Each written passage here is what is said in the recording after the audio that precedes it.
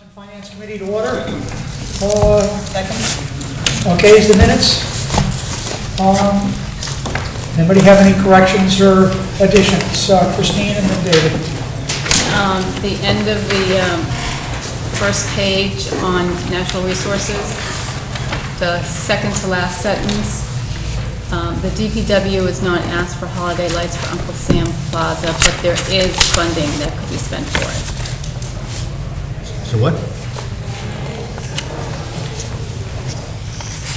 Is funding. This funding. Okay, so Uncle Sam Plaza lights are, can be covered in the budget? Yeah, the, the- we have enough money in the holiday lighting line Thank you. to cover it.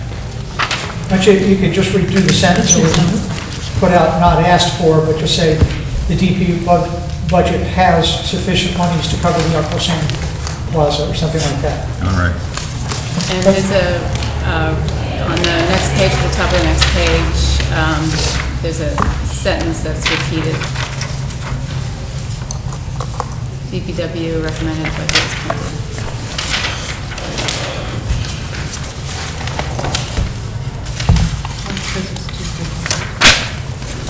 Oh, you have, Isn't it two different budgets? Okay, anything I else? want to make sure they got that straight. Okay, David? Uh, Just a minor adjustment, uh, Article 34, the Minuteman School, in the s- second line, uh, budget increases are driven by new, a new, uh, that should be adjusted by, a- by a new and new. Thank you. Five. Okay, that's up to me. Anything else, David? Charlie? I just have a little confusion in the Minuteman section there. It says, uh, "The design enrollment decision is scheduled for August." I thought that the permanent, not the permanent, but the Minuteman School Building Committee voted for an 800-person school. Who's make, who's the design decision that's scheduled for August? I don't recall. You mean since the- our meeting? No, before. You said they were carrying forward uh, several designs. Charlie, I think he said ultimately the school committee will have a vote on that. I'm not sure if if this it's is, by- target. this is by the school committee? The Minuteman School Committee. Okay, so the design enrollment decision by the Minuteman School I think so. Committee is scheduled for August. Okay, is that it? Okay. I'm sort of confused by the next sentence. He estimates the cost to a medium Arlington, oh, household Yeah. at under $100.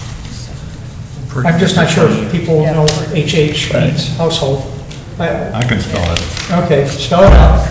Okay. It should be hundred dollars per year for a hun, for twenty years. Yeah, yeah, you should, So annual cost, yeah. hundred dollars per year over, or is it thirty years, I think? Thirty? Yeah. Okay, are there any other changes? Okay, do I have a motion as corrected? So moved. Second? Okay, all those in favor of the min- accepting the minutes as corrected, please say aye. Aye. Opposed?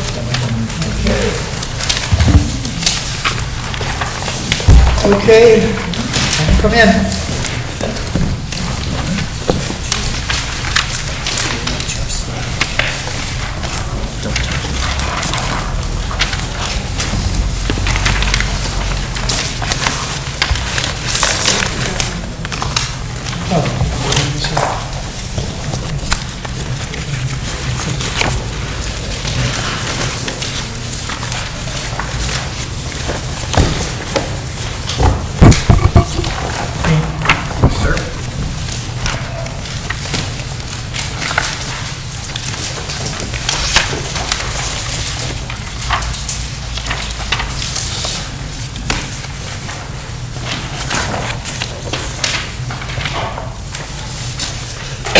Okay, the, the- the sheet that's being handed out now was handed out at the Budget and Revenue Task Force.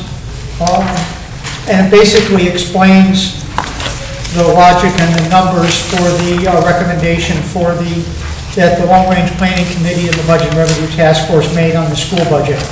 Um, If there's a couple extra, we've got four more members back there, so you can, oh, it's in the budget? Just being passed around.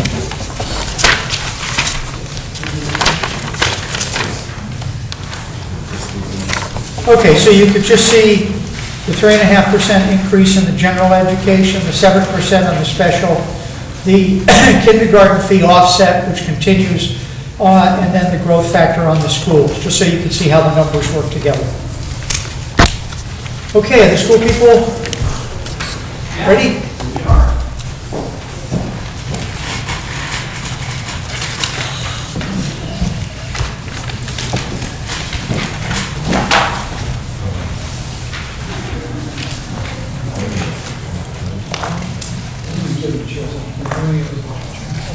Okay, I think they can speak from, from back there.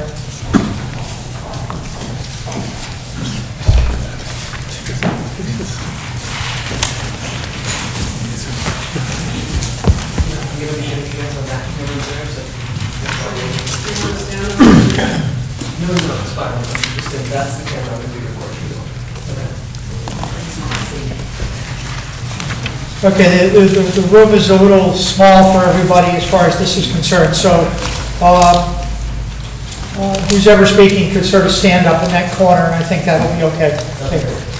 Uh, so the, the uh, hearing today is on the Arlington Public Schools budget. Uh, we have a handout here that, uh, uh, so who's ever gonna open up the speakers, uh, for the school?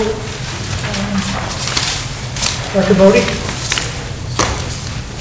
Where do you want, where do you want? Right there. You have to look at that camera. So the camera's on you. I know you're not used to that, but... Hello, everyone. Hello. This presentation is actually going to have three people as part of it, so when their piece of it comes up, I'll have them come and introduce themselves. So I don't know if you've ever met uh, Dr. Laura Chesson, who is the Assistant Superintendent, and she's going to talk tonight um, on technology and technology infrastructure. You do have um, a handout this evening, and uh, I wish we could have a PowerPoint, but I know that you're constrained in this, in this, uh, this room to actually have it for people who are watching this evening. But I will say that tomorrow we'll have the PowerPoint um, online, if anybody would like to see any of the graphs. Well, first of all, uh, let me introduce some of the people that are here from the school department. Members of the school committee, we have O'Kane, Paul Clifton, Jeff Thielman, Cindy Stark, Judd Judd Pierce, and other people who wanted to come and were unable to do that.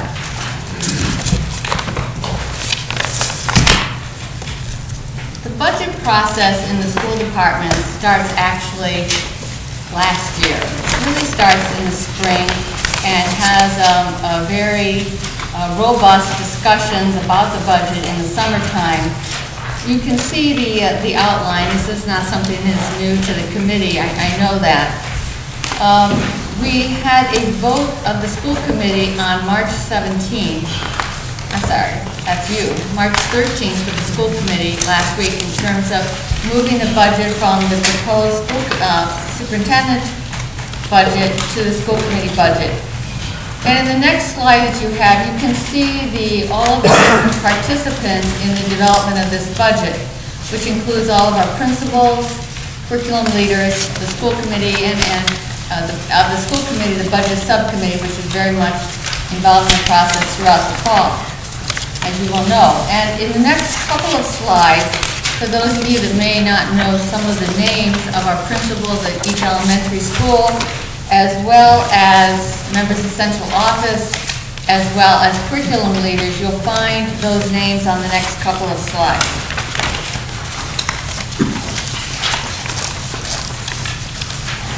So giving you a, I'm now on page eight. So giving you a, uh, uh, just a very broad stroke, look at the FY14 year-to-date, uh, I think one of the big highlights, of course, this year is that we were able to open the Thompson um, Elementary School this year um, on time, and very importantly, to all of you, under budget. And it is beautiful, and I think everyone agrees that it was one of our uh, great accomplishments in the last uh, couple years as a community. Another important thing that you should be aware of is that the special education budget is tracking about $1.2 million over budget, but that that amount will be covered by reserves. One of the sources of the reserves is going to be the $500,000 stabilization account that was set up a couple of years ago by town meeting, that we have a warrant article asking for the use of those funds this year.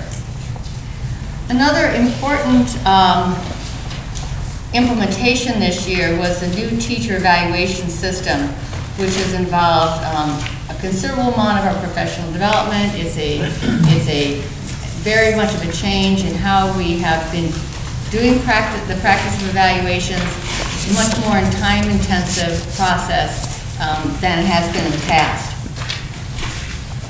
And then the other, the other important part with respect to our budget is that the other parts of the budget are remaining within these expected parameters. We want to talk a little bit about special education because that seems to be, that is the, um, the um, area of our budget which is now uh, over budget. And looking at year-to-date results and looking at um, where the sources of the overage are, lie. So the education, special education service budget is, is uh, approximately 6.8% above budget, or 13.1% above the FY13 actual expenses. And the, the source of the overage um, is is primarily about two-thirds of that amount is due to out-of-district placements. We've had a number of students that have had hospitalizations, and 47% of the, of the outplacements that we've had this year have been due to um, prior hospitalizations. At the beginning of the school year, we had 102 students that were out of district. Presently, we have 112. And many of those are what we call 45-day placements, which is, is not an uncommon type of placement after um, a hospitalization when needed. Not, not everyone that's hospitalized comes back and has a out- out-of-district placement. I don't want to say that. But what I am saying is that in terms of the seven or eight hundred thousand dollars that we are over budget, roughly half of that is due to placements as a result of hospitalizations. We've also seen a major jump in contracted services in a couple of areas. One is in vision services at the preschool level. What we're starting to see in our preschool and certainly as, our- as well as our kindergarten are the results of a lot of medical interventions that have had very small weight children, children that are under three pounds, being able to survive and, um, and and thrive. But often these children um, require uh, additional services in their, in areas of vision and hearing. And we have had um, more, more use of contracted services in that area than we have in past years.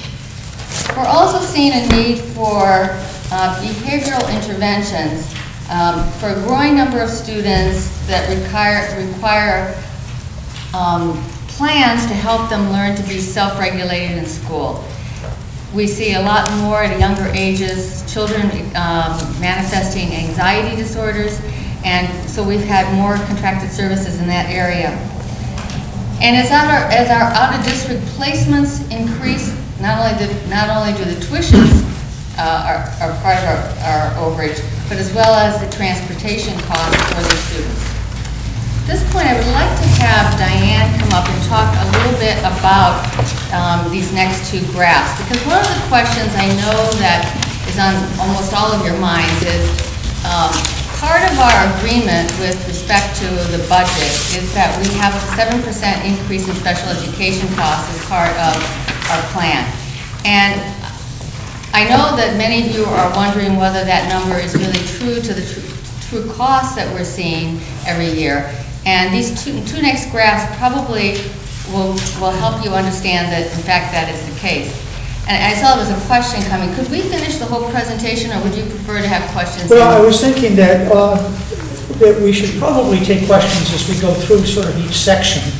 Um, And, uh, you know, so as long as we're on special education, um, you know, I have a question just on the hospitalization, um, as far as why that happens. In other words, you're not paying for the hospitalization. No.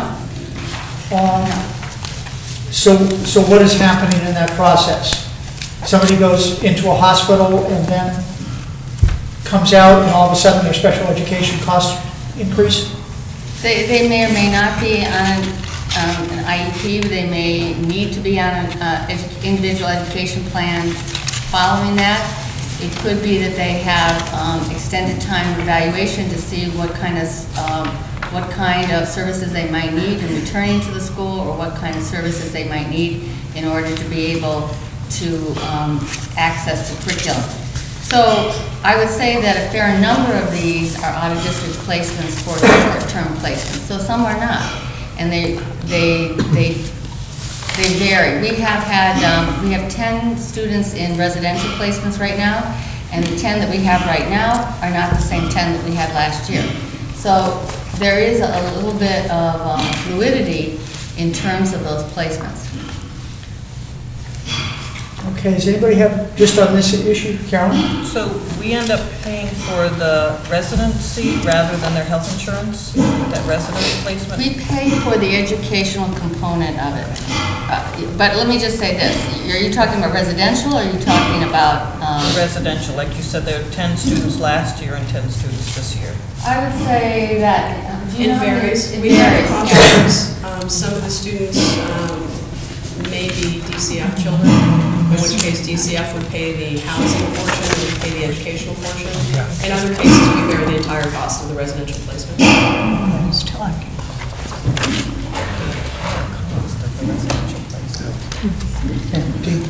So, while we're on the topic of special ed, you had mentioned, um, so you're talking about being over bar- budget this year and using money from a reserve fund to offset the costs. Um, So, there's always good news and bad news to the reserves funds, right? You're, you're happy they're there, right? You say, wow, they're here, we're gonna get through FY fourteen. I'm happy But then they're there. gone. And then they're gone. Right. It's- Exactly. Well, Based on the way you started shaking your head, you knew where I was going when I started, so it kind of made me laugh. Um, So what do you think? I mean, I, Well, Diane knows I've said all year, as we've been seeing these increases growing, that, I mean, I would like not to be able, not to touch all of the money in that stabilization account, but the, the issue is that we, we need to um, be able to cover all of these costs. We But- have But other. are you, so let me ask you this question, this really gets to the heart of the matter, is, you're saying you're gonna spend about five hundred thousand, I think you said, from the The stabilization fund. stabilization. How much, is that the whole balance? And it's the whole balance of that stabilization account. We also have a tuition-in account that we've been fortunate enough to be able to carry the balance in that. It's a revolving account.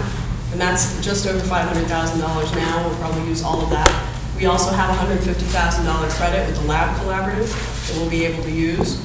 And we have other, um, we have other funds available in reserves based on our foreign visa students who pay tuition to come to Arlington.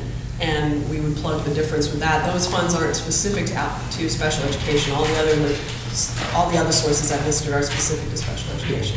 Right, but what I, what I guess I'm getting at, and I'm just trying to wrap my head around it, is, I mean, sort of, mean, we talked about some prior years, right? The, the, the, the, the large challenge with schools is that your, your budget is fixed, determinable, and set on September one. There's really no way out of it, right? It's not like you can lay teachers, well, you guess you could lay teachers off in the middle year, but we're not gonna go that way, right?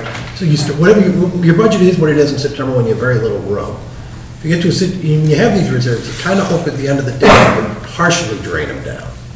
But you're, what you're saying is, we're in a situation where we're just gonna blow, we have to, we're, we're in a, you're in a situation where you've gotta blow them all. Well, that's all No. the special, all the specific special ed reserves, that's correct. But there remains one other reserve. If I can go on to the next slide, I think I can make this a little more clear.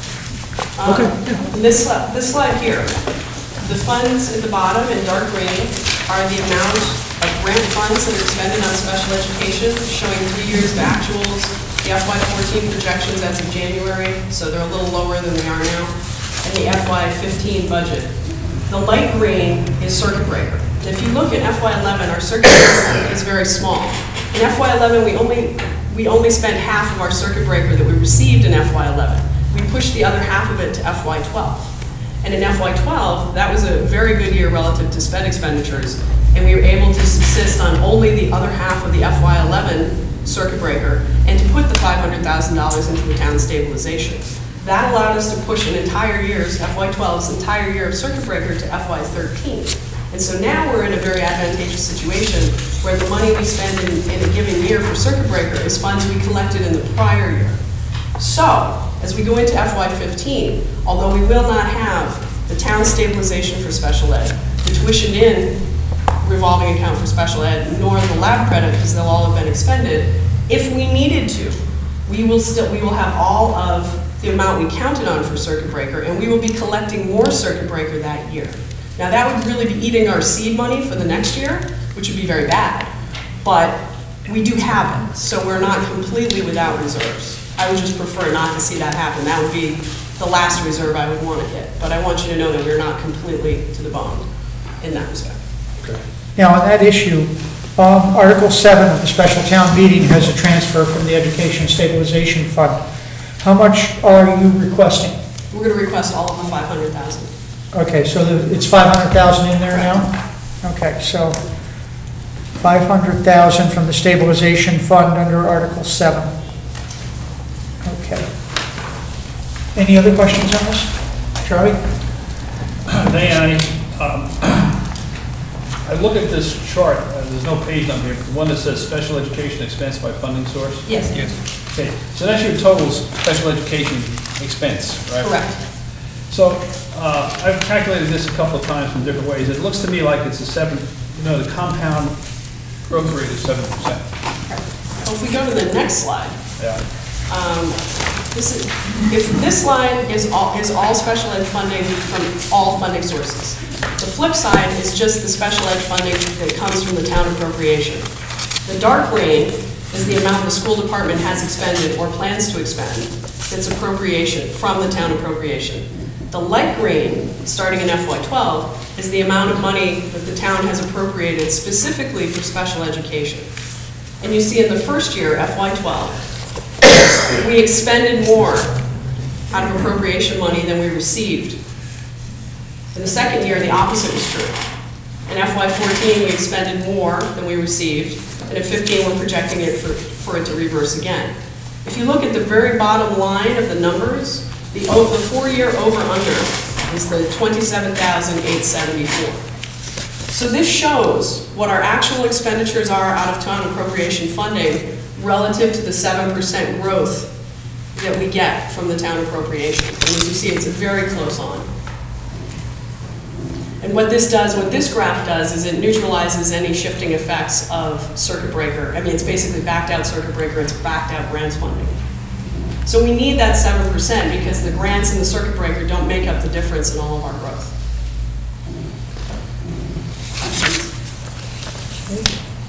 Anybody else, John? In years past, uh, I I got increasingly frustrated with the costs of, of- of transporting kids out of, out of the town. And it seemed to me that after a while, the school system got that under control, and you were doing very well, and I was quite pleased about that. But it seems like it's returning somehow here.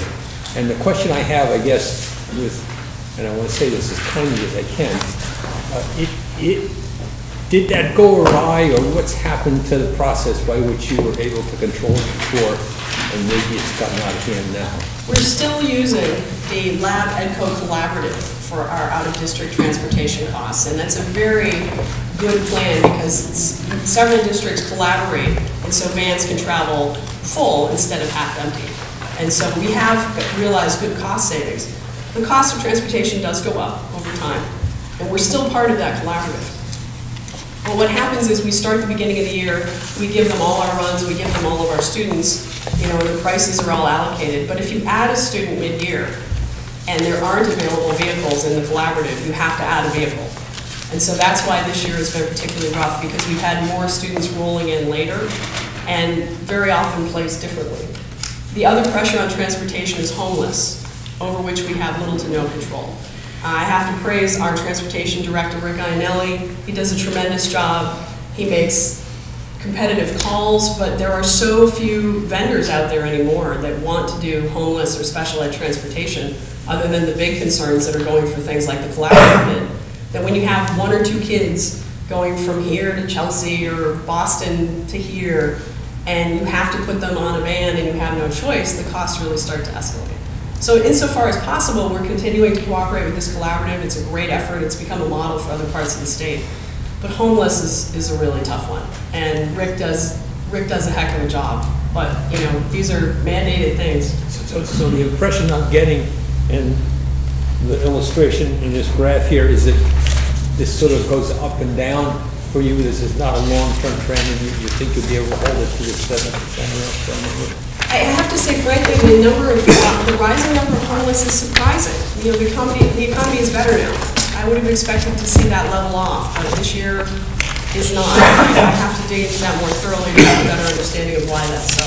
Thank you. Well, Karen? not, not all students that are designated as homeless in our rosters are requiring a van to some other community. We have, we have homeless students that live right here in Arlington because they may be living with a relative or a friend, and they're still designated as homeless. So the, the numbers may belie the um, actual number of children traveling out of town. Carol? So the kids who qualify as homeless are kids who were in our school system at one point and become homeless, which is why they're commuting to, say, Chelsea? Well, they may, they may live in, Ch- they may originally come from Chelsea, be placed in a group home shelter in Arlington, but being transported back to Chelsea to continue school, so their education is disrupted. Or they might be an Arlington student who is now become homeless for some reason and is living in some other place and is being transported back to Arlington to continue their stu, their schooling. Schooling. The whole point of the homeless is to help a homeless child be as least disrupted as possible. That makes But it, it's very expensive and it, and it's a, it's supposed to be a 50-50 cost share between the two districts involved. And the management of this is, as you can mar- imagine, quite nightmarish. And Rick Iannelli does a great job of really staying on top of it. Okay, Dick? Uh, Just just to answer that question, the half and half reimbursement. Well, we half and half, and any reimbursements come through the state funding and come to the, the long-range You get state line. funding, you get state funding on this? Yeah, but it, it comes to the town, it- like chapter 70, it goes to the bottom line. If that half comes from the receiving town, Yeah, it's supposed to. can you collect it? Uh, Rick tries to set it up so that the vendor bills directly, half and half. I I mean, you know, we try to keep as few checks flying around as possible. Okay, Charlie? So, um, uh, Diana, I'm a little confused by the numbers. These charts we just saw tonight for the first time. And, um, you know, the, you sent us a table last week, and thank you for doing that. Um, And I, I looked at, I assume those numbers are the same. I mean, I haven't, I They're gonna look a little different because of the way they're configured. That table I sent you last week, and, and I had trepidation Well, about. can I finish my question? Okay. Thank you. Um, I, I think that, um, you know, I looked at, I looked at these numbers in the individual categories, and I looked at them in the total, uh, in, in, in the total expenses. And when I did a ten-year compounded growth analysis on this, um, it generally came out, you know, around seven percent. Um, When I looked at a five-year growth rate, uh, it came out almost two percentage points lower, somewhere, you know, around four or five percent compound growth. But your chart is only four years. So I'm trying to understand, um, are, you know, what are we looking at and why here, and are we comparing consistent set of numbers to a consistent set of numbers? There, there is one discrepancy right off the bat. This five years starts in FY eleven, and so if you use, the other chart ended, the final year in the other chart was fourteen, not fifteen. And so that's part of the anomaly right there. I'm looking in this chart from eleven to fifteen, in the other chart, it was from 05 to fourteen. So that's, that's one of the differences. The other difference is in the chart that you're holding in your hand right now, this is only appropriation dollars. I've backed out grant funding, and I have backed out circuit breaker. Whereas in the other chart, they are in.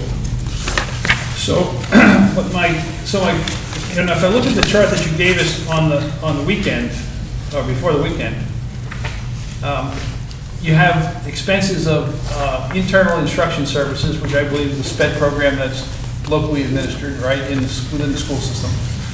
And then you have um, payments to other districts, to other districts. I assume that's out you know, all of this residential and out of district costs, et cetera, correct? No, it is not, because those, those numbers do not reflect grant funding that could have funded either or both of those concerns. The purpose of that chart was No, back. no, wait, let me ask, let me ask the question then. Um, Aren't expenses expenses? I mean, independent of where the money comes from, there should be expenses that are expenses, and then you have another basket that's revenue. The difference here is that when I came to Arlington, I was asked to reconstruct a long-range view of the expenditures that had happened. I had, because there had been multiple changes in the chart of accounts, I had no way with Arlington's internal records to do that year-over-year comparison. So I went back to the state, and I got the numbers from the state that had been submitted on the end-of-the-year report, and reconstructed it using those numbers. The state does not collect information on special education expenditures when they're funded by grants or circuit breaker. And so the numbers you're looking at are basically just what the state considers general fund. And so that is not a good graph to use for the kind of analysis you're trying to do.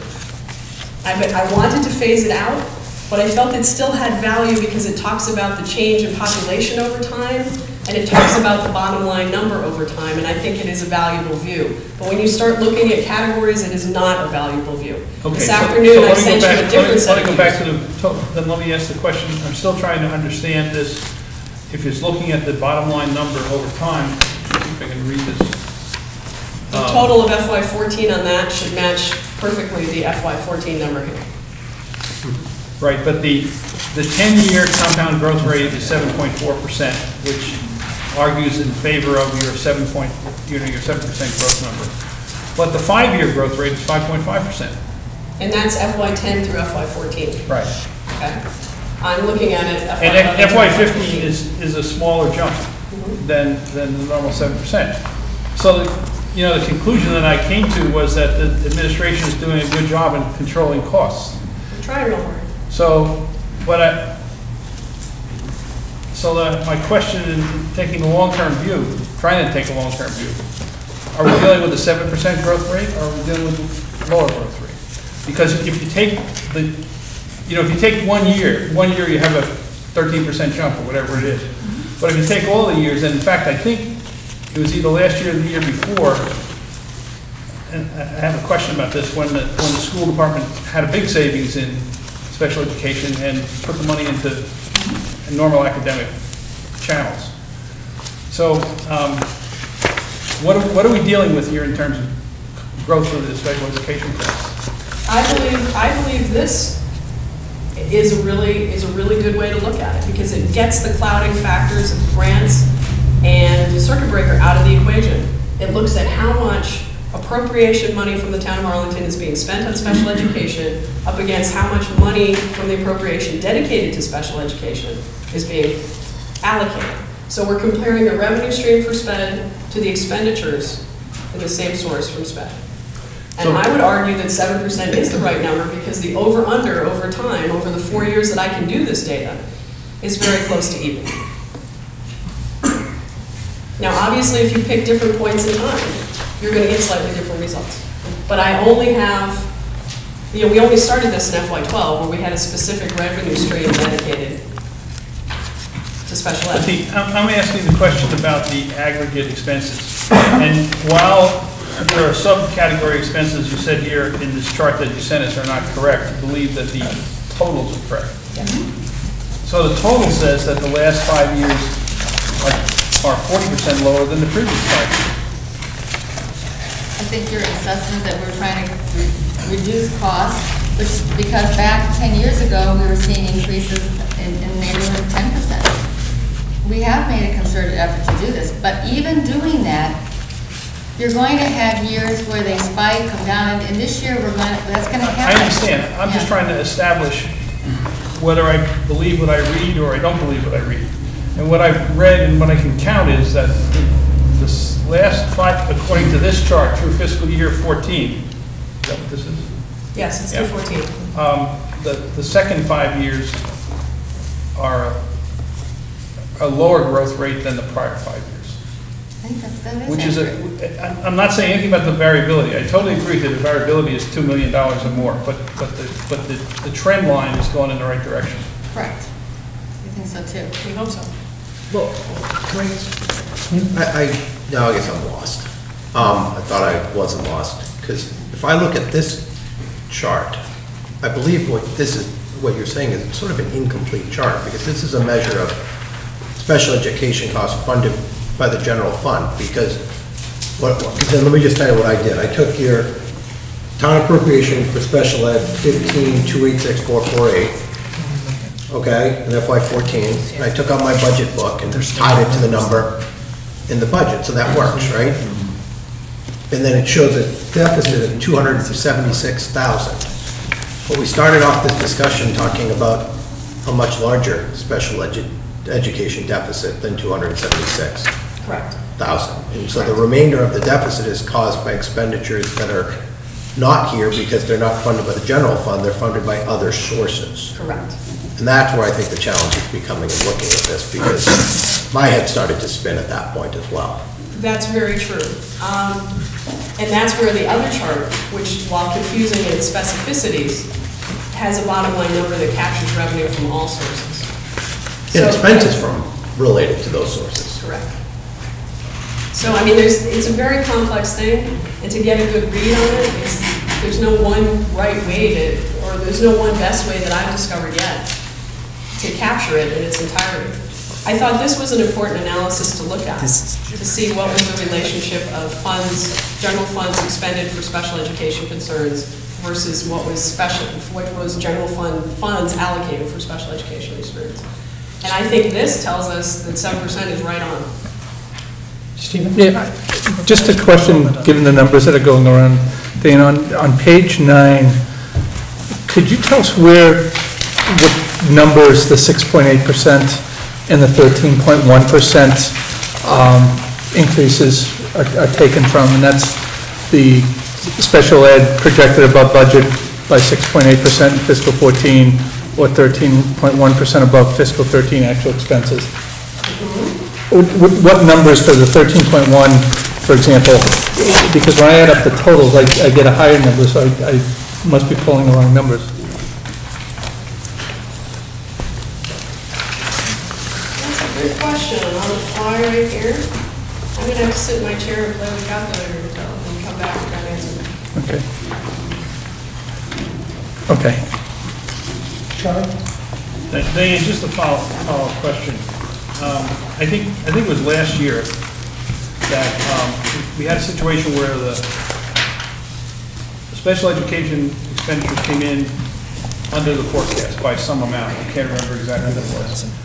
In, in the, uh, but the money was spent, I was, at the time, I was told that the money was spent in the normal academic curriculum, um, quote-unquote, in intervention areas that would eventually benefit the um, special education. And I, I think, I think it was three or four percent under, you know, it was a substantial, substantial difference. So um, my question is, um, in this chart, where you show these surpluses and negative amounts here at the bottom, the difference, uh, are you counting the money that you spent already in a different category? I mean, how could you have this positive balance if you spent it in a different category? Because I, all that, that differential is the difference between what the town allocated for sped and what we expended out of the general fund for sped. Okay, but you don't still have that money, No, because it was spent somewhere else.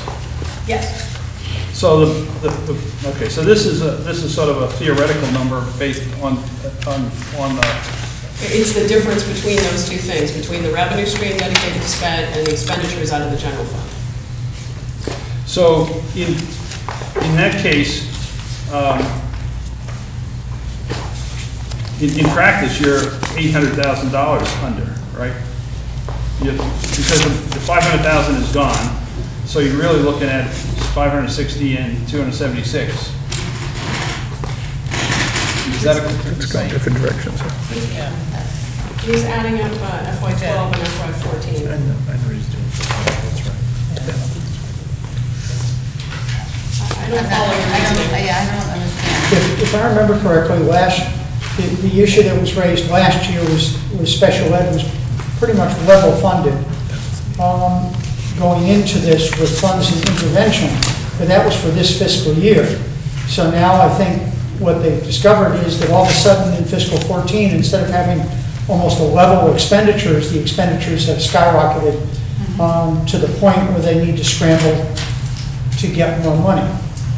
So they were, they budgeted at a level, but the expenditures aren't appearing at a level. After the fact issue.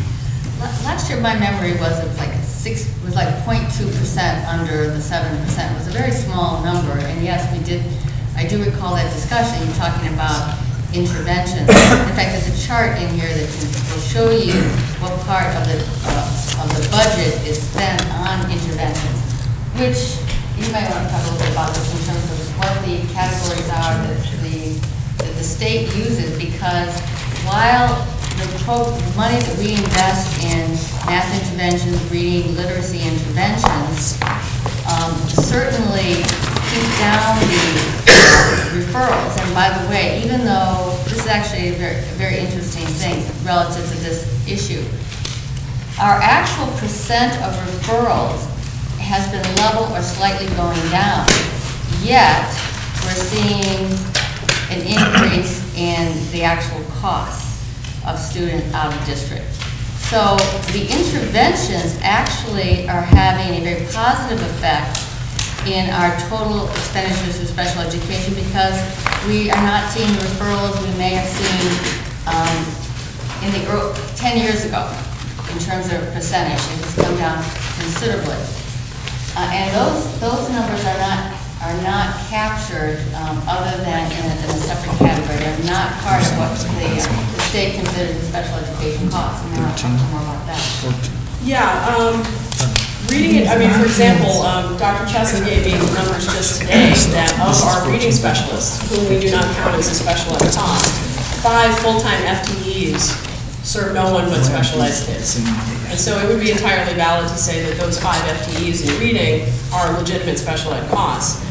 But I didn't want to do apples and oranges, I didn't want to chop and change. I wanted to stick with a consistent definition of spend so we can see trends over time and not muddy the waters with those kinds of ins and outs. Okay, Paul? So on this chart, of the first chart, of special education expense by funding source.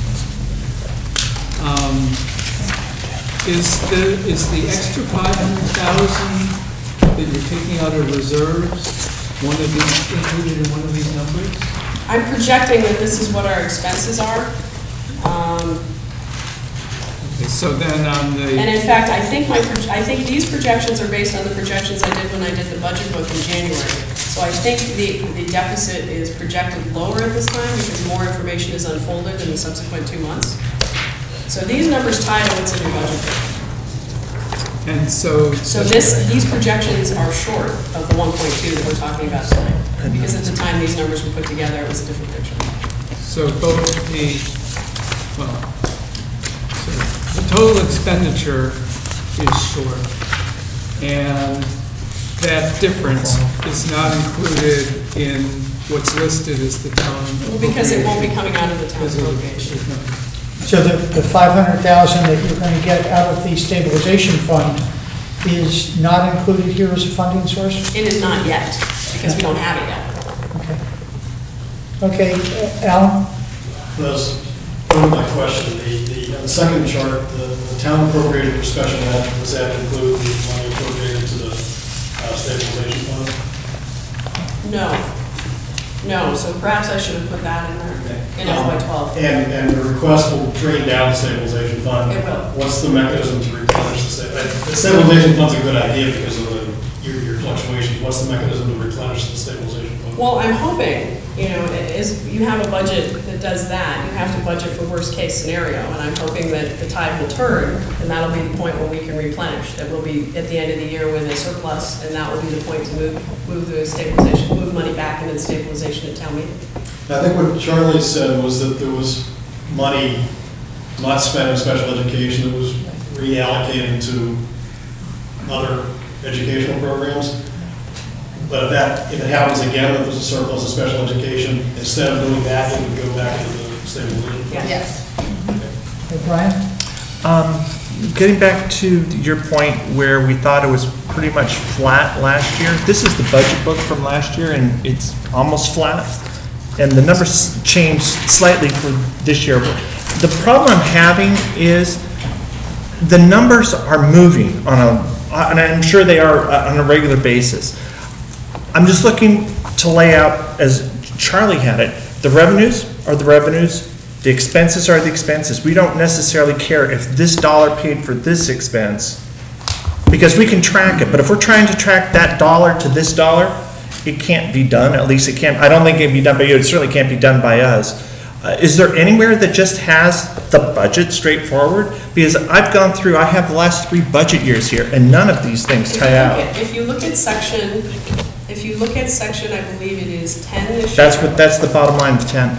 And here's this This is. FY '14. You're right, and this is FY fifteen, but FY fourteen is almost flat. But expenditure, expenditure, budget, projection, Right, you see where I scratched off the budget and what was there, so the but that's proposed, the expense projection. right, That's different than the budget. okay, what's the, bu- what's the budget amount there? I don't have it in front of me. 17040, And what's the proposed, look what's the at- proposed budget the following year?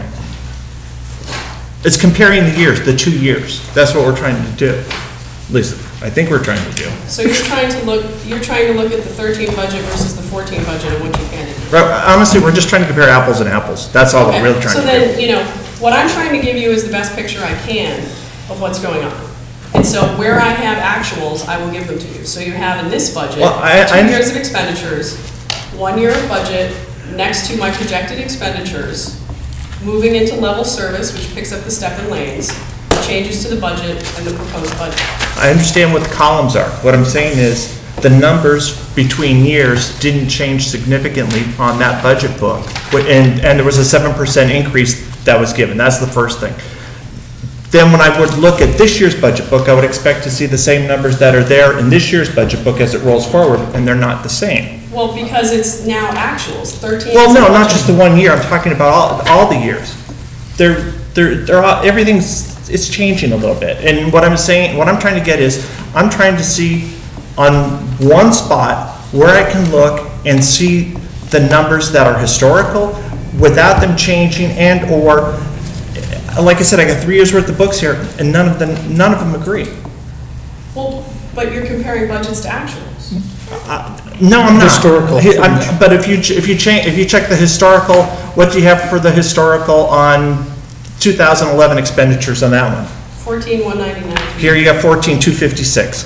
And it- that's five years later, the numbers are changing. I just, I, I just don't understand. Well, I can, I can explain it to you. that, Okay. You know, they're great big pivot tables with thousands of lines. Mhm. And small anomalies will creep in. Okay.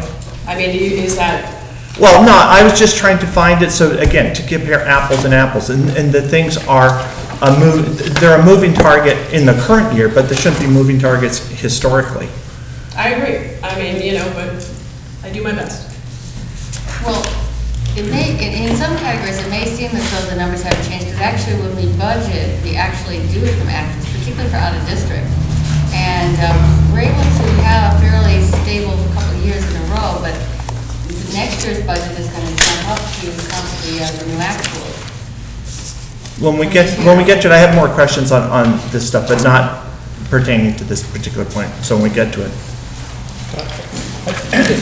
Okay, wait a minute, Sean, Charlie?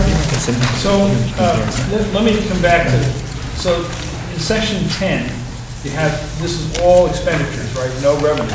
Correct. So do you have, is this, so what I'm trying to understand is what, how does the internal curriculum, the internal uh, special education curriculum cost change? And how does the out-of-district, or or let's say the outs out of the school uh, curriculum cost change? Is that, The detail is there, but it's very difficult to see. Late this afternoon, I sent you two other views. I also sent them to the other members that were on the email, um, that show special ed expenditures over that same period of time. So actuals from 11, 12, 13, projections for 14, budget for 15. And it's, it's summarized by program category. Because that, that's the piece of the coding that distinguishes special ed from general ed and the general ed. And so you can see it summarized by preschool, OTPT, speech, um, residential day, all the uh, in-district special transportation, out-of-district transportation. I also sent you a different view that shows it by object category, for example, administrative salary, teacher's salary, tuition costs.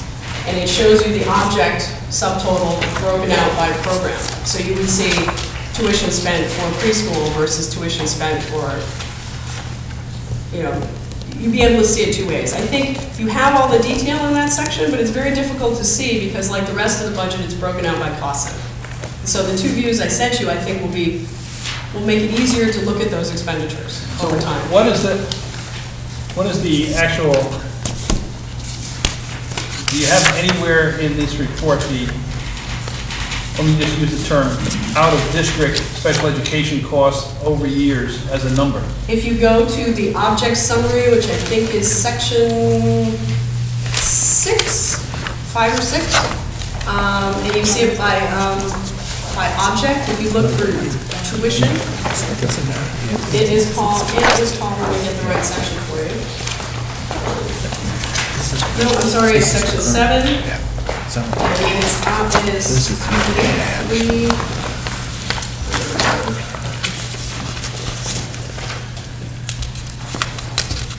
eight three two oh one, tuition to other schools.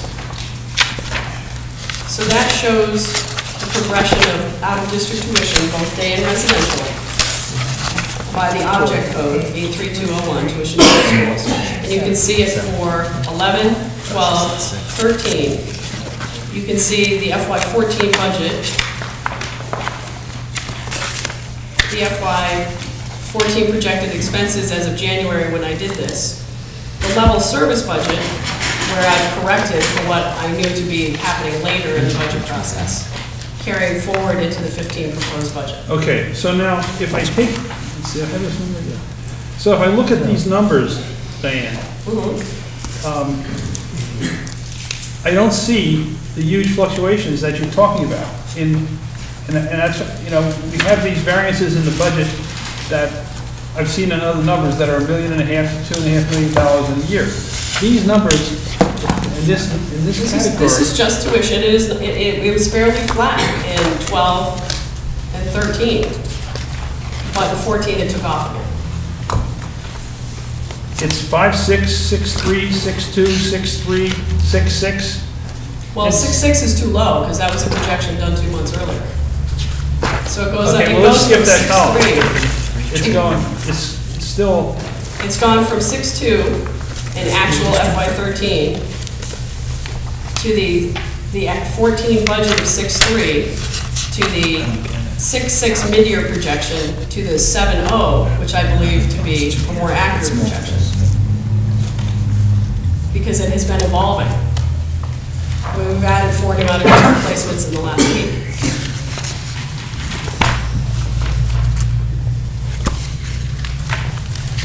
And that's just one piece of special education. I think the two reports I sent you by email will illustrate the variances in other areas of special education. thank you. Okay, John, did you have a question? Um, no, I, I don't. Okay, Alan? Is the average per pupil cost in the special education programs, um, how fast is that increasing? I haven't looked at it that way because, you know, I don't, I don't believe that to be a very valuable metric. Well, the reason I I thought it might be is the per pupil cost, you had a steady population, which one number with one number is, uh, then the, then the sort of baseline increase would be the, you know, per pupil cost increase. Uh, And there's some contributing factor if the number of pupils increases, but again, I would hope the number of pupils and their needs change over time, but sort of levels out. Know, It's not, not going growing forever, because I expect the pupil cost would grow with some sort of inflation.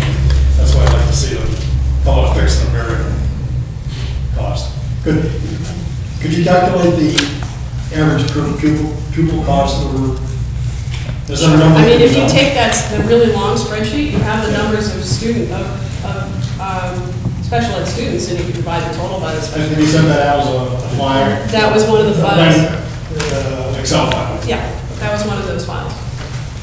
But there, you know, when you think about sped, there really are different categories. There are, there are children in a general ed classroom receiving interventions. There are children in a substantially separate classroom, which are staffed at very in the long run, do those ratios change a lot, or do they? Well, I haven't, I haven't done that kind of analysis on it. But, I mean, you know, if you look at the cost of a residential student versus the cost of a uh, included student who receives some modest services, I mean, the cost differential is gargantuan. And so to average those two students doesn't seem to me to be a valuable measure. Well, it's, uh, and again, looking for sort of a base rate of increase versus one that's related to the fluctuation of other students who come and go. But the student, I mean, the student fluctuations haven't been that drastic. I mean, we're, we've been going steadily up over the last several years in out-of-district placements. Okay. But the Okay. total number of students They has been sort of some. batting back and forth.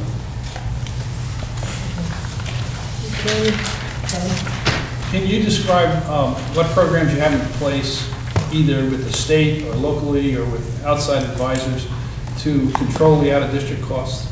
Um, The state sets the rates for the out-of-district schools. The school placements are decided through the IEP committee process, and we pay what they tell us to. Well, Let me just add to that. We belong to a collaborative, the LABBB collaborative. There are, there are five districts, I think that you're aware of all of the towns, but for those listening, we have Arlington, Lexington, Belmont, Burlington, and Bedford. Each one of these towns has one of the programs housed in their district. By doing that, is able to bring down the cost of each of the, each of the LABBB programs that we may do an out-of-district placement. So one of the ways that you reduce out-of-district costs is to be able to participate in these kind of collaborative programs. In fact, EDCO is going to begin next year some out-of-district uh, programs as well, including the 45-day secondary program, which again will be below what you might get in a, in a private uh, school. So going through collaborative programs is one way you bring the cost of, of out-of-districts down. But of course, the other one is to invest in in-district programs so that the students can receive the services they need in district, and we have done that. And not to mention, which is also important, is the kind of intervention programs that we do so the students do not have to be referred for additional services because they can get those services as part of their gen ed program. And by doing that, I, I, think we've seen success in that, in our number of referrals has remained fairly flat after some drop in the last few years. And so you have to look at it in terms of an investment as well, in terms of what is going to provide the needed services so before a student has to um, receive more services. Do we have any, any way of, um, any metrics on the the value received from these outside services? Well, one of the things that happens as part of an IEP meeting, that they certainly have annual, uh, and perhaps even more often, reviews of students' progress, and that is something that's evaluated in a team meeting. But do we know that, for example, one school does better than another school if for a given amount of money? We have some thoughts around that issue, yes, Um, but I would say that what we're looking for is student progress, and we like objective measures of student progress, and that is something that you look at in an IE in an IEP meeting. So one of the issues is if a student is not making effective progress, then we might, we would perhaps suggest another setting, which is coming back into the district in order to receive services here. So there are a number of students that come back into district, um, in, in some ways, not only because they may not make effective progress, but also because they have made effective progress and they are ready for a more, um, more, um, inclusive environment for education. The, the, the federal mandate and certainly the, uh, how we look at this is we want students to have education in the most least restrictive environment. And that's how it's defined. So le- most least restrictive is to be in a general education classroom, and the goal is toward that, that goal. And to the extent that we can do that, or keep students as possible in those, in those um, classrooms and be making progress, it has to be both. We have to be able to have the students do that. So there is a lot of, there is a lot of in and out that goes on within a district this size in terms of um, students and programs. And, and, but the goal is to make sure that they, students get what they need, because our foremost goal is to make sure that happens, and have it in the most least restrictive.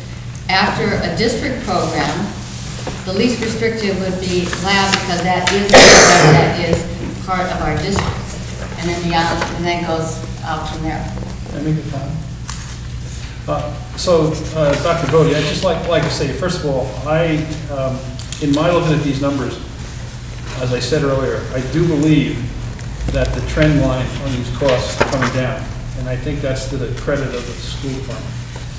I, I don't know, I, I- I don't have my arms around the numbers enough, they're not- they're not clear enough for me, but I, I think, you know, maybe that uh, some sort of uh, evaluation or audit on the outside expenses might, you know, might be helpful to, to sort of continue to drive these in, in the right direction, if it's possible. I also think that um, it might be a good idea if the school department could think about a lower growth rate on the special education over the long run, but a, a higher input to the reserve fund. So in, in other words, even if the, the growth rate is trending down because of the management that you're doing, the variability is still there based on the incidental severity of cases or the population bouncing around. So that, that would mean that you, you need a larger reserve fund that we should try to build up over time, but you don't necessarily have to have as high a anticipated growth rate in the long run. And that's just my observation from the It the may well be in a couple of years that we would feel more comfortable, given our actual expenses and what we see happening right now. Um, I don't believe that I feel comfortable changing the seven percent, given what I'm seeing here. When you look at five years and you're, you're over, under on this, it's such a small number, it's not, it's more than one TA. It's, it's pretty, we're getting pretty close to that number. I totally agree with you that we need to build up our reserves, and that's a concern that going to the stabilization account this year. So our goal next year is whatever we can, we want to be able to build some, some of those back up again with, with the hope that next year, um, it will be, uh, it will be different. And actually, there is a precedent when we look at long range in terms of special education costs over, um, ten years. We've shown you that chart before, is we've never really seemed to have a really, um, a, really large number followed by another year. I know, I, I know. So we're hoping that next year won't be quite, but, but we don't know. Because one of the things that we're also seeing, which is a, a trend we're trying to understand a little bit better too, is that many more of our out-of-district are happening at the secondary level, not necessarily at the elementary. Um, So we, we're looking at our programs at the, at the secondary level in terms of what, what we might need to do in shoring them up or changing some programs um, as we go forward. Our element, our elementary programs seem to be doing um, quite well in addressing some of these issues. There are going to be some students that it's just simply not cost-effective as much as we would like to be able to have them in district, as much as their parents would like to have them in district. It may not be cost-effective in terms of the services that we can offer. And so there's going to be a certain number that are going to go out. What is the ideal for a district like this? I don't know what that answer is. Um, I, I can tell you that when I've looked at out-of-district and districts comparable sizes, we're like right, we're right in there. I mean, and they see the same thing, a little bit up and down, but we're, we're not exorbitant by any means. We're really right in there with a lot of the other districts. There's two, there's two charts in the beginning of the, um, the budget book that speak to that. You can see where our, and this is using the state metric on special education, so they're only interested in general fund special ed expenditures, and they don't include transportation in these numbers. So looking at the state comparison, you can see that we're about even with our fiscal comps, and while there's greater variation in our academic comps, we're, we're right in sort of the middle of the pack there. Those are in section one or two, I believe. Okay, um, two things. Gloria, could you open the back door now that the noise out there seems to have gone away? And, It's uh, only being cold, but it's not so much anymore. Yeah. Well, we're an open meeting, we should have a door open. Uh, Second thing is, I, uh, I assume we're taking advantage of, uh, where appropriate, Dearborn, since at least it cuts out transportation costs? Absolutely. Yes. Okay. Very, yes. Is there any other questions on the special ed issue? Peter? Got it. What's probably an easy one, what's ABA? It's a, it's a certification on behavior. Beha- It's a behaviorist service. Okay, anybody else? John? Are you satisfied with the way that your reserve is, that 500K you were talking, talking about, that, that has to be voted in town meeting? Are you satisfied with that method of having a reserve? As opposed to, for example, coming here to this meeting and saying to us, you know, we need something from the reserve fund. As much as I enjoy your company, I would prefer not to come back to you anymore.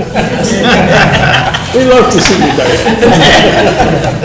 Plus, John, they can't carry, we can't carry it over. You know, it's one issue. Right. Okay, is there any other, Joe? Well, uh, talking about the reserves, you know, it's very hard at town meeting to find that there is a huge reserve fund being held and not being spent when the town is incurring a tremendous financial burden. And when you tell people that you're holding this in reserve and they're going to blink their eye and say, if you don't spend it, you're going to lose it. And that's the whole problem with reserves fund. It's there, you're not spending it, but you have an expense that's going to occur anyway, so why not dip into the reserve fund? Because people are going to say, you know, it's there, let's use it, and and not keep in, you got three, three plus million uh, coming in this year. So, you know, let's use the reserve fund, that's what they're there for. When needed. One thing I think that people listening need to know is the reserve fund that we're talking about was money that was, was created by a surplus in the school department budget a couple of years ago. And so rather than, to- just to make sure that there was some money for the, a situation like this, that's what was established. And I would like to see, to see money in there, but, um, we do have to cover the costs this year. Okay, so let's move on from special education, and I'm sure if any questions pop up later or in the middle of the night, uh, Diane, you call to Diane, she'd love to explain it to you. Uh, Dr. Bodie? So the, so the next page, moving on here, page 12, gives you an overview of what the next topics are that we're going to talk about with, with respect to the FY15 budget. And I think it's important to understand what the overarching goals of the school department are. The specifics of how we we, we try to achieve these goals changes year to year in terms of district goals. But it's, it is important everybody understand that what we want is that every Arlington Public School graduate will be ready for college, career, and active citizenship. That the Arlington Public Schools will build staff capacity, fostering continuous improvement. We will provide a cost-effective education supporting optimal teaching and learning, and in partnership with all town departments, the Arlington Public Schools will engage in effective collaboration and communication with all stakeholders. As we look at this, this next slide, um, this is actually a testament to the type of collaboration that has existed this past year um, with town officials, with the school committee, the finance committee, the, um, as we looked at a problem that we were encountering. We've had steady growth since 2000 in the school district, but what has been mar- remarkable is the growth that we've had in the last two years. I will say that that's not unique to Arlington. Right in this 128 belt, we're seeing these kinds of increases. But we've had an increase of 281 students. When we, uh, we designed this plan for 3.5% growth on the operating budget, 7% on special education, the assumption was that we would be having, you know, there'd be some growth, but it wasn't going to be precipitous as, it- as we've experienced. So we we presented the problem to the town, we worked together as a team to figure out what would be um, a way that we could address these needs.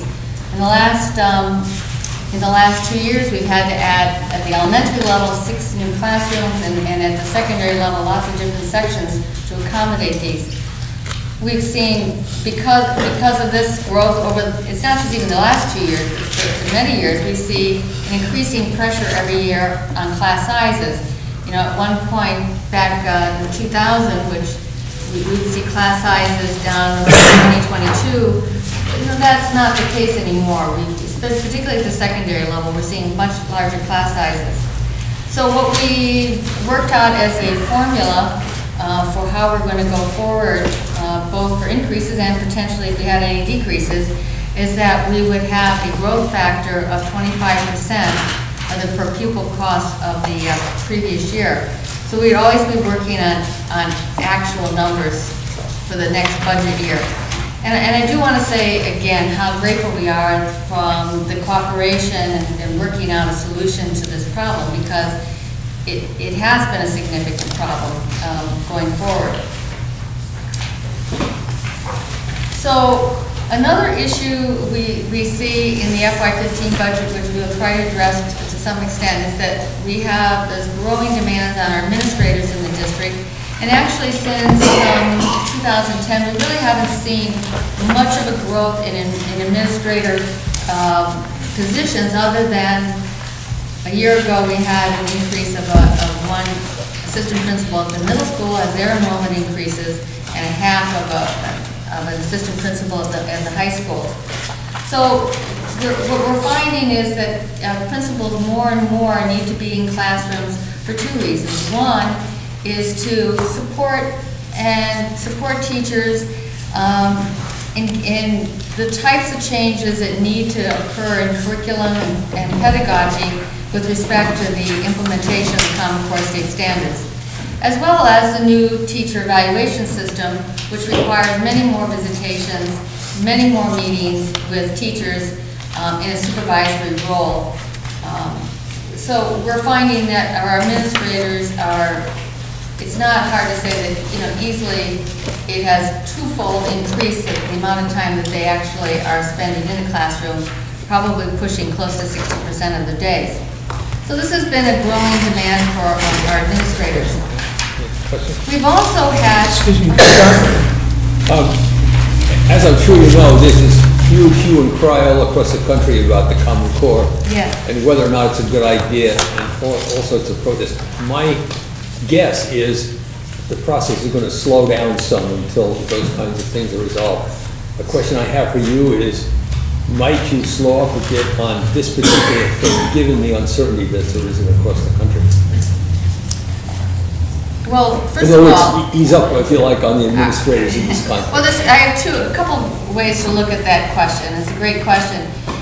First of all, our assessments in MCAS and as we go into the PARCC are going to test our students on the Common Core State Standards. This year, all of the MCAS will be focused on the new state standards.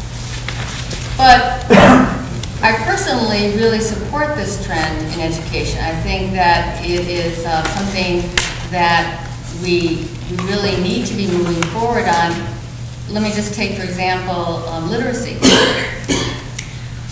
It used, it used to be, even on the MCAS uh, years ago, that most of the questions that would be reading questions tended to be much more of a literature-based. But the reality in our very complex technological world, we need to educate um, our students to be able to read very complex. Did you, don't want me to get into No, no, no, this? it's not, it's not that. I, I know we should move on, okay? And, and my question is holding us up a little bit. All I'm saying is maybe think about easing up on how fast you might go in this direction. That's all I'm suggesting. Um, There's there's no way to ease up, because they're going to be tested on it, and and therefore, we need to have to prepare them. It's our responsibility. Yeah, Okay. In fact, this year, we're going to be um, piloting in a number of our schools and grades, um, some of the PARCC assessments. And in fact, this probably leads very nicely into the next part this. I'd like to have, let me meet uh, Dr. Laura Chesson, who has been um, really leading a lot of our, um, our technology changes over the last year, and certainly has been um, the person who's been helping with um, organize all of the PARCC assessments. So we have uh, five schools that will be um, piloting the PARCC this spring. We had no choice in which schools they would be, would be, what subjects they would do, what grades they would do, and whether they would take the test on paper or computer. Uh, It would have been nice, since Thompson is one of the schools that is taking the test, if they could have done it um, on computers, but they were selected at random to take it by paper. So we'll be doing it by computers at Dallin and at, for one grade at Dallin and one, and three grades at Ottoson, and then we'll be doing it on paper at Bishop and at Thompson. Um, But talking about the PARCC test, um, and talking about the connection between the Common Core state standards and technology, there are about 272 standards in the English language arts section of the Common Core state standards, and 78 of those, almost one-third, specifically call for the use of technology, and another 112 also infer the use of technology. Um, This test is meant to be totally uh, computerized, and that is so that the data can come back very quickly, so that we have time to plan for interventions for students. Right now, the MCAS data really doesn't come back until late August, beginning of September, and at that point, we're getting ready to go into the, the fall, and we're, while we do try to make interventions for students, it, if we had that data and PARCC is set so that we would have that data probably two to three weeks after the uh, assessment's given, which would be sometime in the early June timeframe, we would be able to have all summer to plan on the interventions for those students. Um, So as you look at your slides, you'll see that um, we need sufficient um, testing equipment in order for the students to be tested. Uh, We have already tested our loads, and we will be able to test 2,000 of the students in the district at the same time based on the current um, web uh, access that we have. We'll actually be pulling the test down and putting it on a server here at the district so that we don't have to keep pulling up and down, because if we did that, we'd only be able to test 200 kids at a time. So since we have to test every student grades 3 through 11, um, and uh, it all has to be computerized, we will be uh, using the caching service. We also have to have our students um, be very comfortable with technology. They need to be able to drag and drop, they need to be able to use scroll bars, they need to be able to use a split screen um, as early as third grade. So we've been doing practice with the principals, and we'll be training teachers, and then we'll be training students on how to use the technology. So they need to be very fluent in technology, so they don't spend more time trying to figure out how to work the technology than answering the questions. Um, We've had, seen a, a great um, explosion in teacher evaluation, as Dr. Brady alluded to. Uh, I have uh, principals and curriculum coordinators who have 25 or 30 people to evaluate, and each one of those people has to be visited and have an observation written up, and have to have a meeting with them uh, four to six times a year. So literally, principals and curriculum directors have to do an observation, at least one a day, for the entire school year. And that means, and each one of those uh, observations has a follow-up meeting. We're required by state to collect evidence and to keep that evidence um, for some time. So to put that online is the best way to deal with it. Uh, The teachers also have a part of their teacher evaluation. Uh, Thirty percent of a teacher's evaluation is based on their impact to student achievement. So they need to be able to look at the data that's surrounding student achievement, analyze it, and respond to it extraordinarily quickly. And so to that end, this year, we have uh, purchased and are implementing um, a student data analysis system. Unfortunately, 280 teachers of the district can't access that currently because the machine that they have um, does not, is not quick enough or powerful enough to um, analyze that data. And since 30% of their evaluation is riding on this, we have to make upgrades to our teachers' machines. If you go on to the next slide, we talk about meeting the needs of all students. As you heard, the special education, yes, sir. Just, a quick question. Yes, sir. It's not to you, it's actually to Mr. Foskett. Um, Charlie, these, these computers that they're mentioning, these were the ones in the capital budget. Yeah. Got it. Thank you. Um, $452,000. How much? Yeah, that's $452,000. I'm just making sure, what I was just referencing, sorry. Sure. We, No, no. our capital budget was presented, the town's capital, the townwide capital budget was presented at a prior meeting. Um, Ms. Johnson was actually at the meeting. We talked about these computers at the meeting, so I was just trying to make sure in my own head that you weren't paying for these computers out of the school budget. Okay. Um, We talked about the increasing needs in special education, and one of the ways for teachers to handle the diversification of students in their classroom is to use um, assistive technology, both visual and auditory. Um, Many times, uh, we do what's called a flip classroom, when we make little videos for students, so that students that need additional remediation can go back and watch the video of the teacher explaining over and over again. Uh, We also make those videos available to parents if they want to help with their students at home. We need to have, as we talked about before, monitoring student achievement is highly critical because so much of the teacher evaluation system is based on that. So we have a, a number of technology-based formative assessments, which means that assessment that informs instruction, not the summative assessment that comes at the end of the instruction. Um, and we need to provide ways for our students to demonstrate what they know and are able to do. Um, the last thing, as you would imagine, from adding all this technology is technology staffing.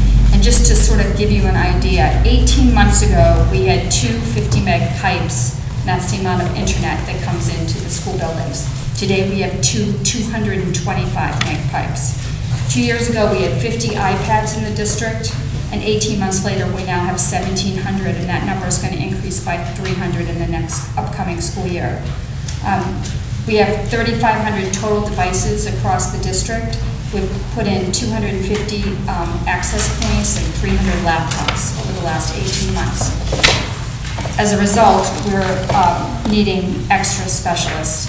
Uh, Network management is critically important. When a teacher gets up in front of a class, the last thing that's going to really make that class go is if that technology is not working and if the internet goes down.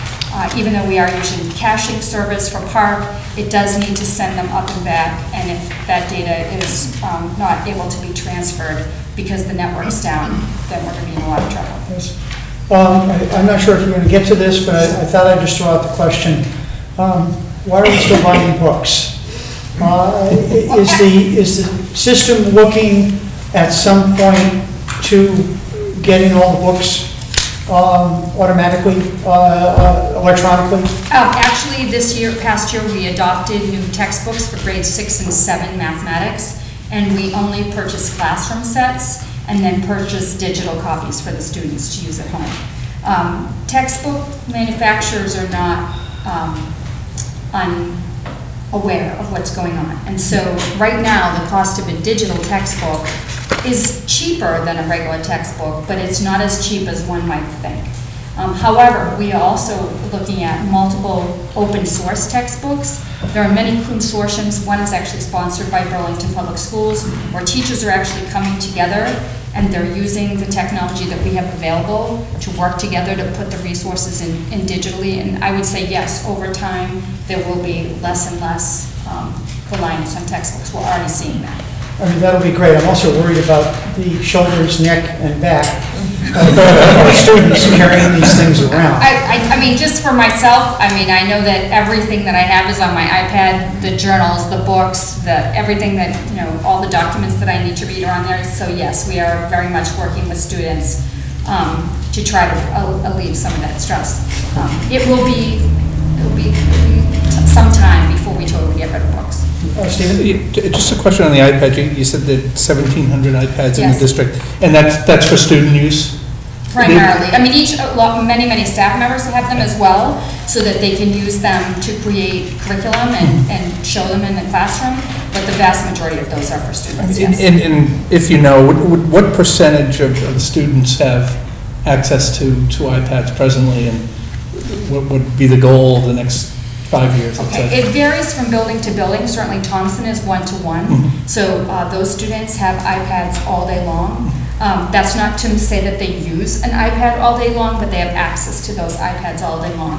Um, At the other elementary schools, they have anywhere from three carts for the entire elementary school to a a cart per grade, which is what we're looking for, for, that's one of the capital reasons for next year, is to get equity among the elementary schools, Thompson aside.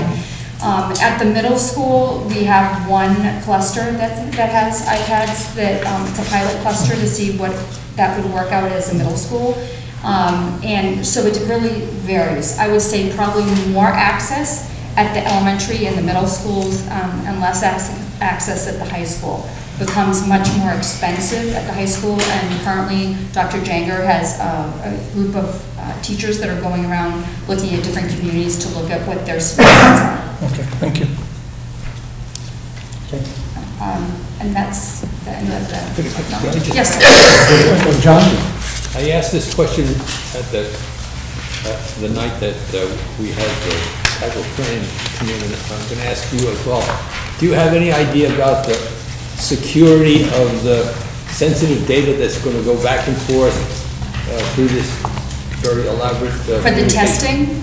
Yes. Testing data? Yeah. Yeah, we, we have a very, we test our network all the time for um, whether it's secure or not, whether it can be hacked. Um, And we'll be, we'll be continuing to do that as we go back and forth. Um, The DOE sends a lot of, uh, uh, almost every piece of data that we get now comes from uh, student data. It's very sensitive data, goes up and down, and we'll be sending it through that pipeline. So I would, I would feel that that data, no, I can't say forever, because two kids in a garage can figure out how to do anything if they get enough uh, motivation, um, as Mr. Gates has proved. Um, But, uh, but, you know, it's as secure as it can be. Yeah. And we certainly, that's something that we watch all the time. Thank you.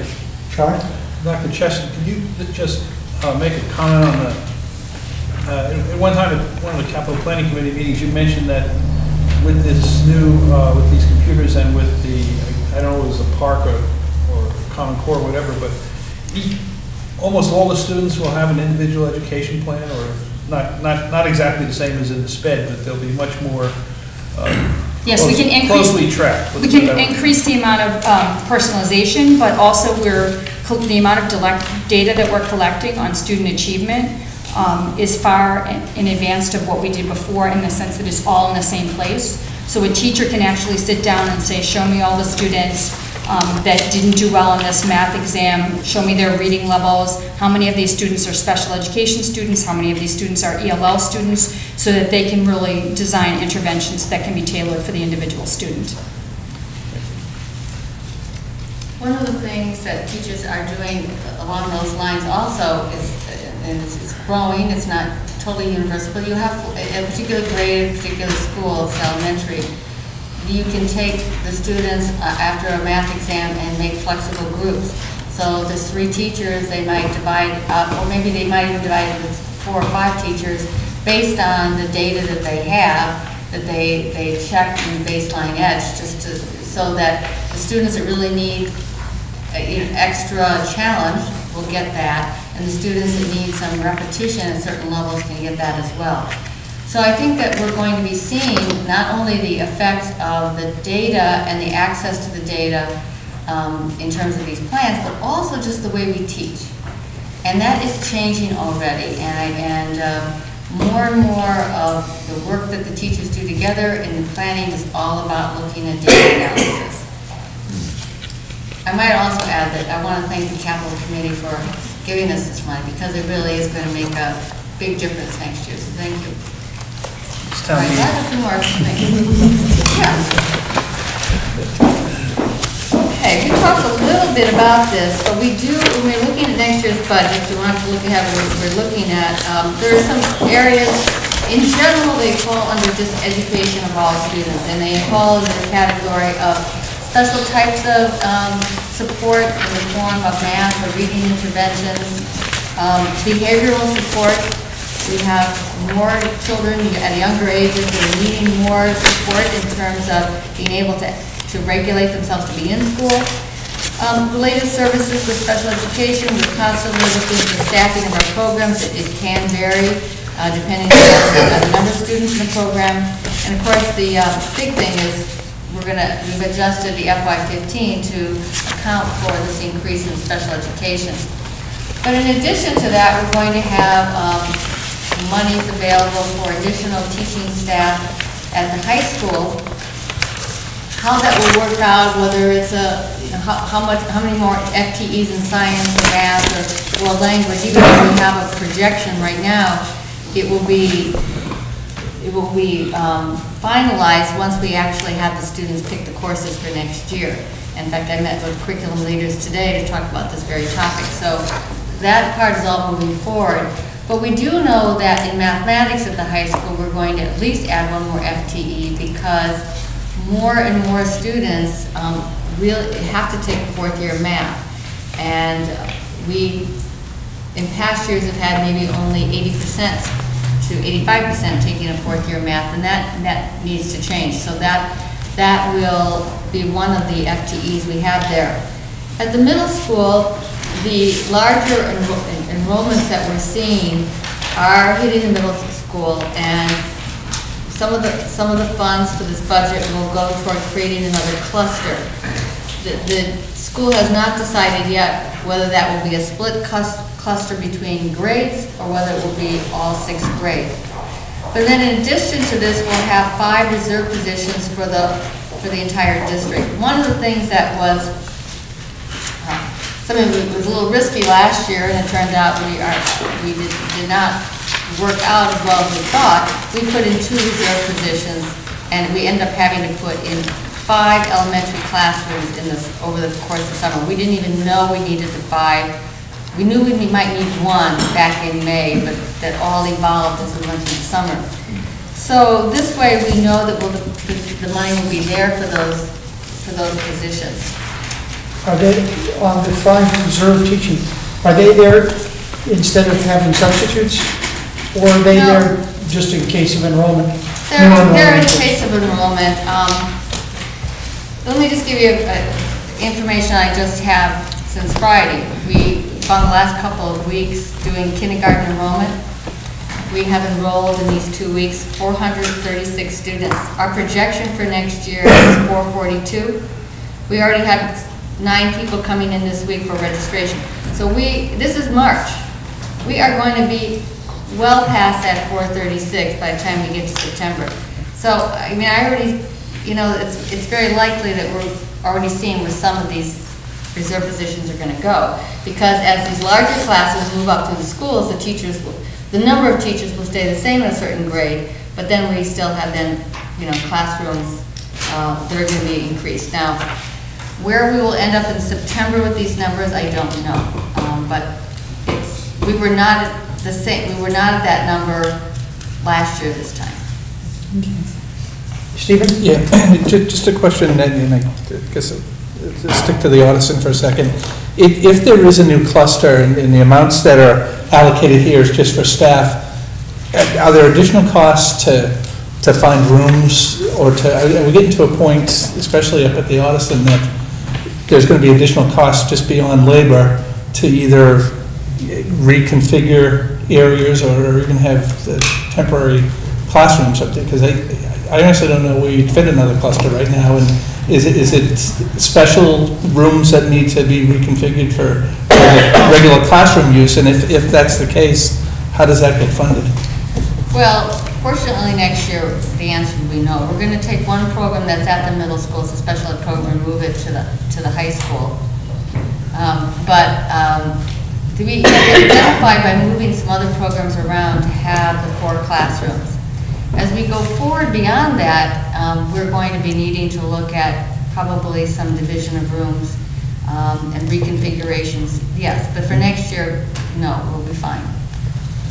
Dean? So, uh, I mean, just beyond the Ottoson though, right, so, and I won't forget the number, but you had an increase in enrollment this year that we're in right now. Um, I think you had an increase above expectation over that, you talked about the trend growing.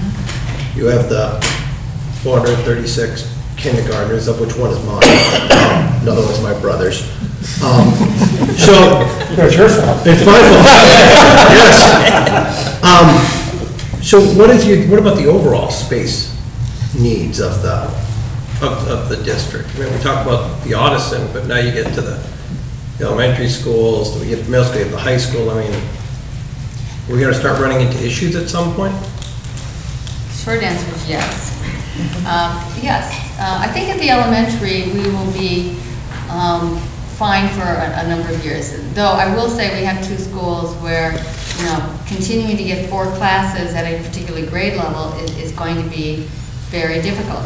When I looked at the 436, we do have roughly a fourth of those students in buffer zone. so I'm to the extent possible, try to be able to even classrooms out over the next, uh, over the next couple months.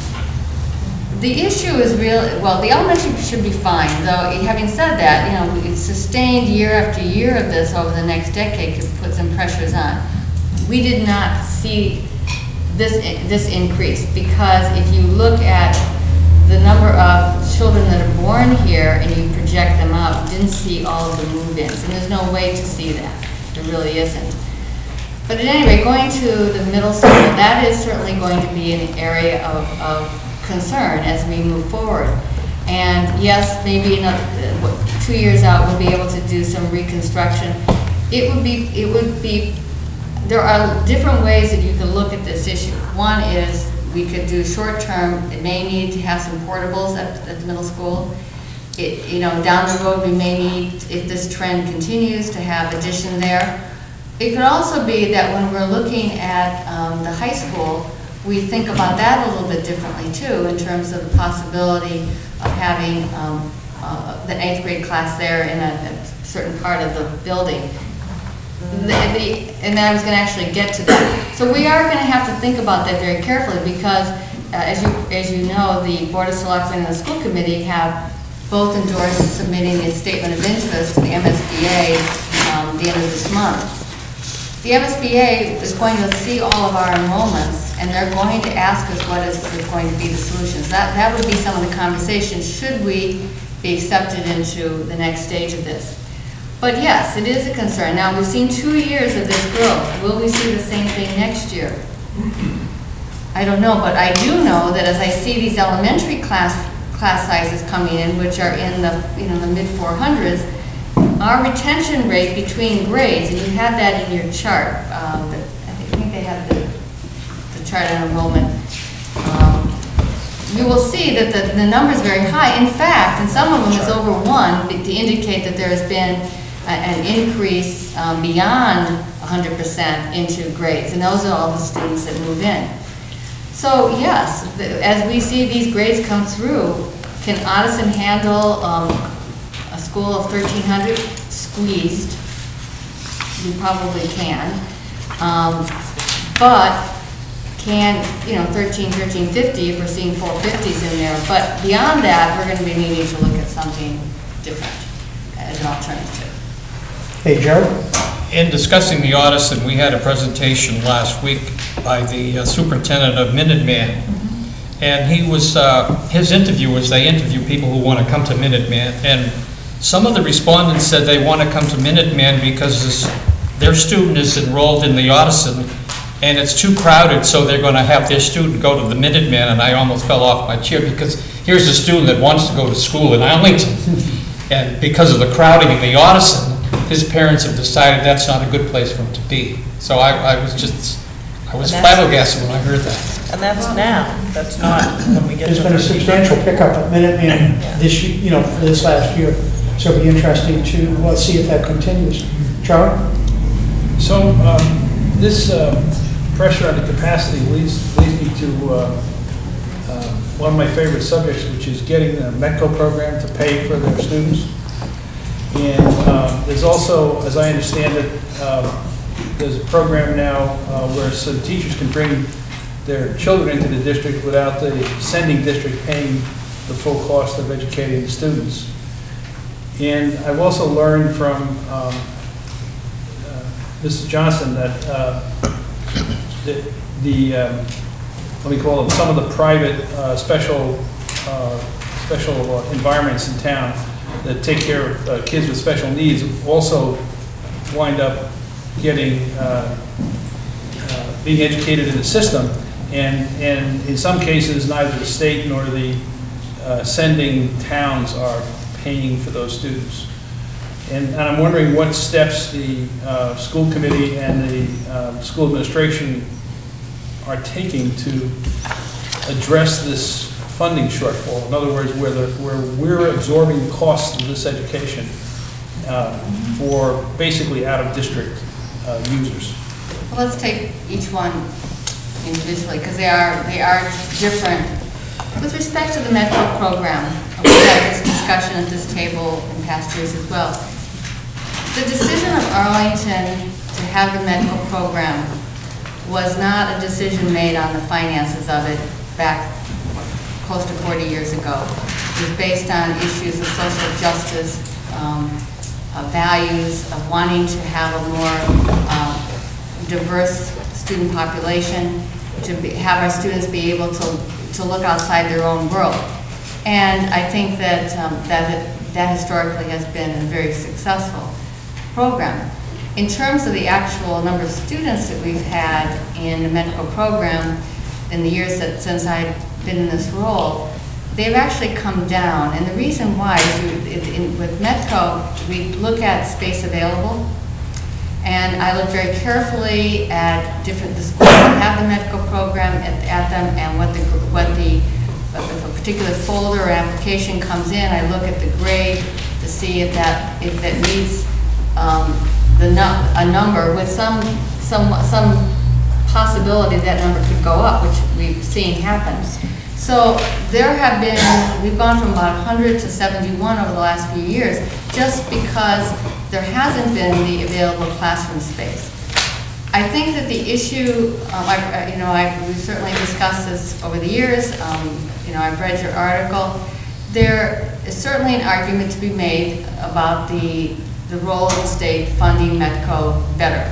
And there's been lobbying efforts to do that. So I think the issue isn't, I think it's a town of Arlington, it was a decision by the town of Arlington to have this program here. I think that it has been a successful program, I think it's continuing to be successful.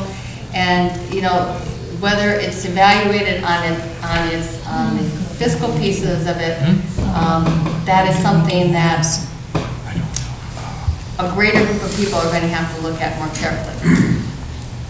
So anything you want to add on that, go, please? Uh, With Can I make a comment on that? I, I would like to suggest, it's very difficult for a greater group of people to evaluate this question if it's not led by the school committee. It's a school department issue. The school's asking for an additional $885,000 this year to accommodate growth. And we have, uh, in, the- between those two classes, of students, the Metco and, and the- and the um, teacher program, uh, 76, I think, students that are essentially paying only $2,000 through Chapter 70 out of a $12,000 um, per student educational expense. And, and it- to me, it's, it's not, I mean, I'm not making any comment about the social or academic or other values about Metco. My problem with Metco is that we're subsidizing the city of Boston. They have an educational cost per student of $17,000 a year. So they're sending students here for $2,000 a year. We're eating 10,000 of our own expenses, and they're saving, even if they paid the full boat, they'd be saving $5,000 a year. So that's a subject that has to be led by the, by the school department and the school committee. And, and it's, it's not a question of social values or, or any of the vast subjective issues that have been 50 years ago associated with the Metco program. It's a question of what Arlington can afford now. That eight, that $750,000 a year would go a long way to filling up your um, special education gap, you know, the the variability for your, for your um, um, reserve funds. Or it would, it would- it would more than pay for the, for the uh, Thompson School. So it's not, it's not chump change, it's a big number, and the school committee and the school administration has to take a leadership role to get this problem solved. It's not, it can't come from the finance committee or the capital planning committee or some other group. It's your responsibility, it's your bag.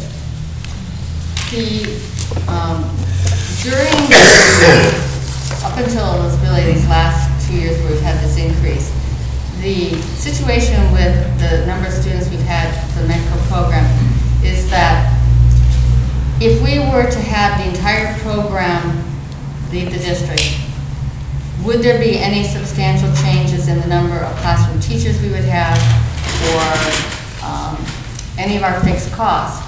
We have about 35 students at the elementary among actually six schools now, um, but primarily four with the, and that puts maybe one or two students per grade. So if you take those students out, That's not the issue, Dr. Bodie. The issue is $12,000 a year to educate students. student This is a city down the road has, uh, I don't know, whether there's nine hundred and ninety million dollars of assessed value. We have seven, a billion dollars of assessed value, but ninety-nine billion. We have, we have seven billion. They have tremendous industrial and tax base. They're closing schools because they have extra capacity. And we're, they, should be paying us to educate those children. It's just simple. And, and somehow this problem has to get solved because it's, it's eating, it, you know, you're, you're looking at all of this, this increase in, in, in stress on the school system. And that's an avenue where the stress could be relieved. I'm not saying that the students shouldn't come here. I'm saying the city of Boston should pay for it. Well, how is that going to happen? The- I'm asking you to solve that problem, I'm asking the school committee to solve that problem, because it's your school district that you're running. It's the only, there is no way that, we have lobbied for increase, in increased funding from the state. There have been lobbying days, there have been letters, there's been discussions. One, what has to happen, if that is the case, is it really does, it's a political issue because the funding comes from the state. The only way that, is is Arlington going to be able to force Boston Is, and maybe the finance committee could, could do that. What would be, what I think you're asking us to do, if I'm interpreting this correctly, is to eliminate the METCO program. No, So- I never said No, that. I never said that. Okay. Okay? All right, I that's simply not- said, No, what you're Boston is saying. not paying its fair share, and we're subsidizing the city of Boston, and we're crazy to do that. Absolutely crazy. And how are we gonna get the, the city of Boston? I don't know, you've got the staff there, you've got, you've got a fifty-six million dollar budget, figure it out. I, I, I think that's, uh, you know, hopefully. Jim John to do the job. Okay, Go uh, and get the hopefully money for from the this, and uh, maybe the school committee uh, could look into taking some action, maybe with the legislators, but, uh, you know, uh, we're we're getting crowded, and uh, looking at crowding at the Ho- Ottoson and and even the high school, you know, it's an issue that we need to look at. But as I've said also in the numbers, that I, I I look very carefully, so if we don't have capacity at a particular grade, particular school, we don't accept students at that grade or that school. So there's really a, a really a fine level of, um, thinking that goes into this. And it may be that our numbers will continue to drop as we have less available space. Um, But I think that we have a responsibility, and that's actually was part of the METCO agreement, that the students that we currently have um, are considered Arlington students. That's, that's how the original program was set up. To your second point, uh, the issue of um, the number of uh, students that come here through a negotiated contract. There was a pilot this year, and it is, it is a pilot in which we have five students. Uh, You're correct, so that puts the number at, at at 76. We have five students that um, were, are, are students of teachers in the district. This is not an uncommon practice in other districts. It was um, argued to be an issue of retention of really good teachers. But many, but we only have that number of students. Um, With respect to the um, out-of-district students that come through our group homes, that's, that's the ones you're referring to primarily. That's a, that's a very tough one because we have group homes and we have, right now, I believe, 10 group homes that at different points have had students come through the Arlington programs. And there are different types of bedroom designations. So in, in a particular program, you could be residential in that program and the, the only real support the Arlington Public Schools gives is, is help um, monitor, not monitor, but um, manage your Title I money. But then there are students that are in a, in a group home bed, who, by the way the law is designed right now, the LEA, the, the public school in which the group home exists, assumes the educational cost of educating that student. Now, we have a number of students, there's a lot of churn in that, the number of students that we have, but we do have um, a significant number, it's primarily at the high school, but the middle school also. But the, the, the most, um, the greatest number by a margin of like three to one is more at the, at the high school level. And uh, we have been doing a good job. Here's, here's again the, the- the dilemma you get into. We want to do a good job. We want, we want these students to be successful. It's our responsibility to help them be successful. But in doing that, we also have caught the eye of DCF and other groups saying that they're doing a good job. And so, um, there's more of a sense of trying to place students in this area. So it's, a- it's a dilemma, but that's the way the law is structured, and that's nothing that the Arlington Public Schools can do to change, that is legislative action, if that is gonna change at all. We do want to do some more analysis on this. This is a really complicated area, and we need more time to look at. um, I mean, one of the things that's really disadvantageous is that unless the students are in Arlington, in our schools on October 1, we receive no Chapter 70 for them. If they come on October 2nd, too bad. And because chapter, you know, the, the educational funding was predicated on the idea that the student comes and stays all year, because that's the way it used to be. And these students that are so highly fluid, they challenge all of our administrative systems, they challenge everything.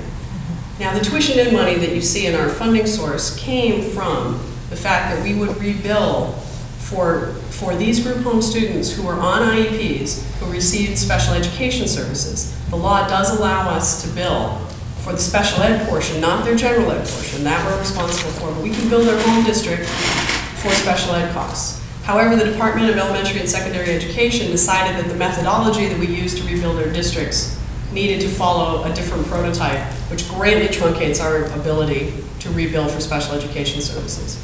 What further challenges our ability to rebuild for special education services is that very often these students arrive without an IEP. So they have to go through testing, they have to get on an IEP, the IEP has to be written, and that, that can be a factor of weeks. And then if they're gone in three months, you might have done all this work only to bill for a week before they're gone somewhere else. It's enormously frustrating, and we need to give it more attention. I think this is an area where the state really needs to, I think the state needs to do more for us here. I mean, we're not even getting Chapter 70 on the majority of these kids because they're not here on October 1. Okay, why don't we move along, John? Just one more question. Uh, We are not the only school system with METCO program, No. right? Are all the, all the districts in the same situation we are relative to cost? Yeah, yes, yes. So how come, how come it's not, how come it's not possible, and I'm really asking the school committee rather than you guys, because I hope, I personally don't think it's your problem, I think it's the school committee's problem. How come it is that we don't have an aggregate effort on the part of ourselves and other METCO programs to go and lobby strongly with our, with our, or do we? METCO does organize lobbying efforts, yes, they do, they just had one quite recently. Um, The, it's how receptive the state legislature, la- latures are with respect to this request. They're looking at all the different things that they want to fund. Do all our reps and senator, are they fighting for this? Have they attended this? Um, One of the, one of the strongest voices on this is Jay Kaufman, who no longer has. But um, he has been a very strong voice um, and trying to get additional METCO funding. But when they go into their decisions about what they're going to fund, other things get funded, or they keep it at a level funding, and which basically we've been at for um, a while. And the, and what we receive in terms of METCO grant pays for the transportation, which is about 133,000 a year. And then um, additional costs for administration for um, the people who administer the program in, as well as other professional development and, and, and and services for the students as well. So relatively speaking, the, um, as all the other costs go up and that stays flat, you, you have a divergence right there as well. Okay, uh, Paul? Yeah. I just want to address the issue of students moving from one district to another, be it through METCO, school choice, charter schools. There are tremendous inequities in the funding as students are moving. If we send a kid to a charter school, we've got a, what, twelve, thirteen thousand dollar um, uh, garnishment on our local aid account. If we accept a kid under school choice, it's five thousand. You know, none of this works out. So that there's a tremendous need for the state to address all the different ways the kids move district to district. Whether a kid is leaving Boston, going to a charter school, or coming out to a METCO program. Now, we have a political problem in that the number of districts who are receiving METCO districts are limited to suburban districts around Boston and some around Springfield. Uh, It is not a politically potent region in that for every action, there's an equal and opposite reaction. Say, the Boston delegation, who would not want to pay Arlington at a charter rate to send a kid out on the METCO program. Uh, There's also a lot of resistance to reforming the way we pay for charter schools. So it's a vexing political problem. I think that we as a school committee can advance to MASC this year a resolution calling for a, a a look at uh, all funding for students crossing town lines or leaving school districts uh, and finding a more equitable way to pay for it. Been very consistent lobbying effort of MASC since I was president of the organization before that. But there is a lot of reason for legislative inertia on changing any of the funding schemes. Because if we're advantaged, somebody else is disadvantaged. It's like changing the underlying Chapter 70 formula. So there's not going to be a great aha in, on Beacon Hill to right this wrong because it's going to go and move money from one set of communities to another. So it, it, it's a vexing problem. And there's no easy answer, and we have to continue to advocate for that on a reliable basis. And that's all, that's all we can say. Thank you. Okay, shall we uh, see if we can, Fine, well, the, the next graph is one that you've, you've seen in the past, it's on page twenty, uh, which, looks at the budget by major categories. And uh, I think that the, the, the one that, there's a lot of interesting information here, but the one I do want to call your attention to is the one that's, um, on the right-hand side of the graph, interventions, that we have been doing investments in that category. Uh, That, that portion of the pie has increased, but that is also one of the reasons why our referrals have remained, have gone down and, and remained rather static in the last couple of years. So going on, here's sort of a summary of where we are with what the cost will be next year. We have, as per our, our agreement for the long-range planning, is we have a a 3.5% growth in, in the general education budget, seven in special ed. We continue to get the kindergarten um, key offset, which has been a great success story. Not only do we have a full-time kindergarten, but the town receives anywhere from four to six hundred thousand additional revenue to, um, to the funds. And then, of course, the enrollment factor this year, which would, which would give the operating budget uh, additional eight hundred eighty-five thousand. So you can see the, key- the key drivers in all, of in all of this, and that is summarized in the chart, the the circle graph following this, which shows that the the, I I- particularly like this graph and ones we've done in the past because while we have town appropriation, I think it's good to see how town appropriation itself is divided up in terms of the estimated chapter 70 amount and then the um, town appropriation for other resources. So basically, we're looking at a very rough 20% of the revenue that comes through the town comes through chapter 70 money. And, you know, grants remain a important part of the budget, as well as do the revolving accounts and reimbursements. So, looking ahead, what are we looking at in terms of, can I just ask one question on, uh, looking at the revenues? Uh, And since the revenues are such an important part of your uh, uh, total package, for fiscal 14, this fiscal year, um, are the revenues coming in as projected? In other words, do you anticipate any significant shortfall in revenues coming in that you can't make up for? Um, I do, I do anticipate that the tuition and money will be short of expectation. Um, Just how short isn't clear just yet. Um, But we expect to perform strongly in foreign visas. Um, We'll see that money, uh, another piece of that money come rolling in in about May. And we seem to be right on with athletic fees. and kindergarten fees, music fees, uh, I'm sorry, not kindergarten fees, um, fees, music fees, um, doing, doing well in academic ticket sales. So I think overall we'll be fine. Um, I have factored in, um, even though I, even though I know we may be a, a a bit short in the tuition in, we have balances that we can use from prior years that will make up five hundred thousand that I talked to. Okay. So you already have five thousand in the bank. So you anticipate that you will, have you will have a balanced budget um, at year end Yes, for this year? yes. Okay, Thank you. With that 500,000 from the stabilization. Um, So as we look going to the future, and we've talked a little bit, quite a bit about this, um, there are there remain pressures that we're going to be dealing with going forward.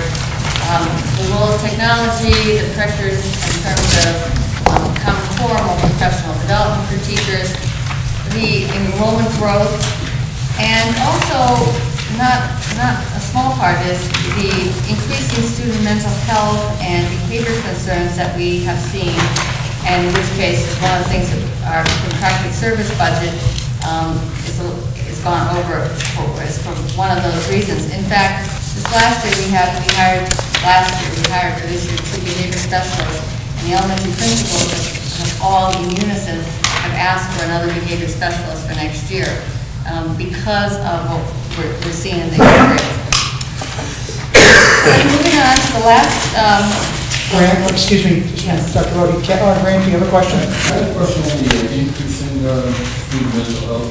Is that across the board for all students, or is it just, uh, It is across the board, but we're seeing it it even much younger ages. And one, of course, one of the things we like to find out not special ed across the yes, not special ed, yes, not special ed. Um, Young, at younger age, ages that we've seen.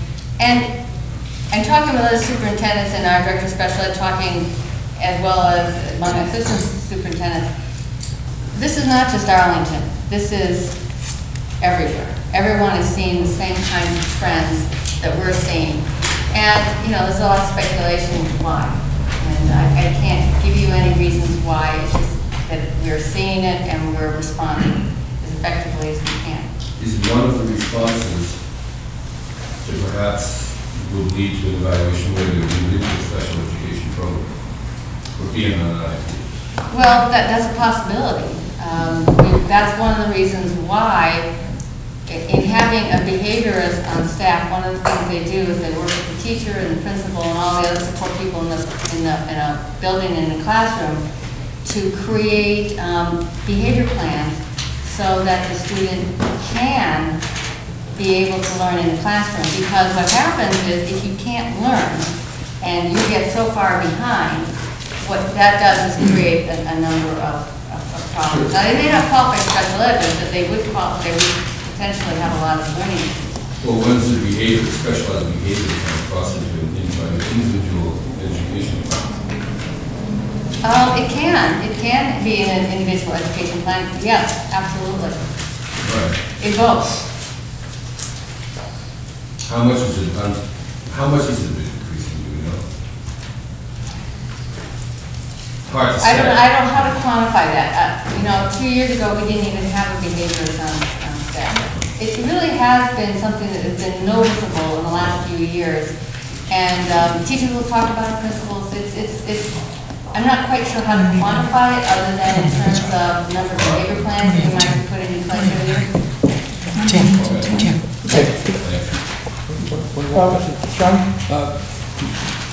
The AYCC has turned itself around rather significantly in terms of finances. And I'm just wondering if you're taking enough advantage, if I may just pose the question, do you think you're taking enough advantage of the AYCC and your relationship with them? Yes, we'd love to do even more. We have a a counseling grant for the elementary, and part of that action money we put toward AYCC, and they, they work with us very closely at all levels.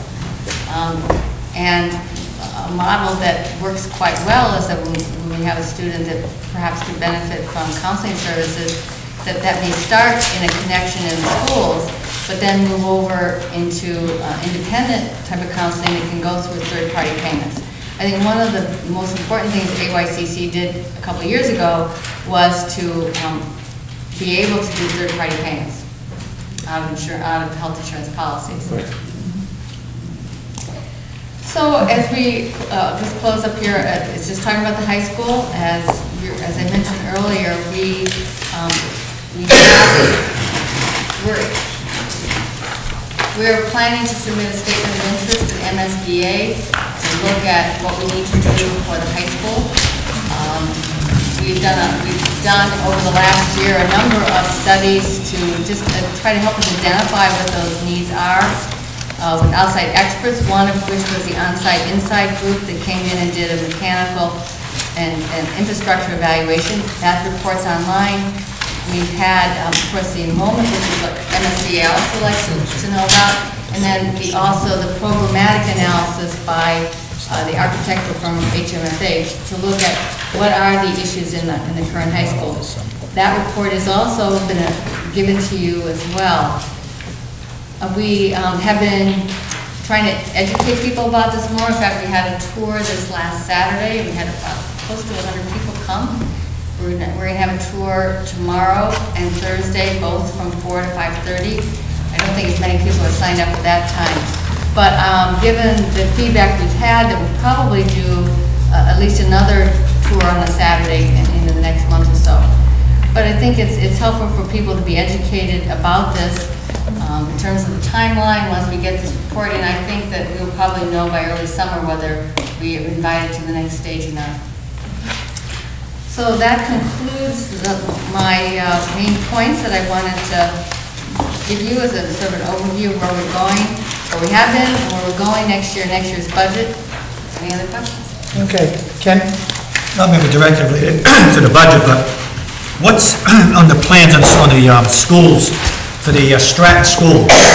The uh, school committee to make a promise to the town of Arlington, they would renovate all seven schools. But obviously, nothing has been said about the Stratton, because that's a boondoggle of money. I'm glad you brought it up, because actually a lot's been going on in Stratton. We have a building committee, and we have representation on it, not un- unlike we do for MSBA, we have a member from the capital committee. And we've done, the charge from the capital committee has been to um, decide, to look at what is going to be needed at Stratton in order to have parity with the other elementary schools. And I think we're getting very close to what that will look like. In addition to that, we also need to do some infrastructure um, work at Stratton. Um, We did, in the last phase in the project, we did, you know, the the usual windows, boilers, heating, and then we had to do the same thing for the other part of the building. So that's moving forward. We are moving also forward in getting an architect to help us with, um, um, take some of these ideas and be able to cost them out as to what we'd be looking at in order for that to happen. That will go to capital in the cycle next year, and then it'll be up to capital to help us figure out how we're gonna pay for this, um, is going forward. But the goal is to have Stratton be on par with all the other elementary schools. One of the things that was very interesting, um, we have a couple engineers on the building committee, one of which is a member of the capital committee. And they did a analysis of all the buildings in terms of, of size of spaces.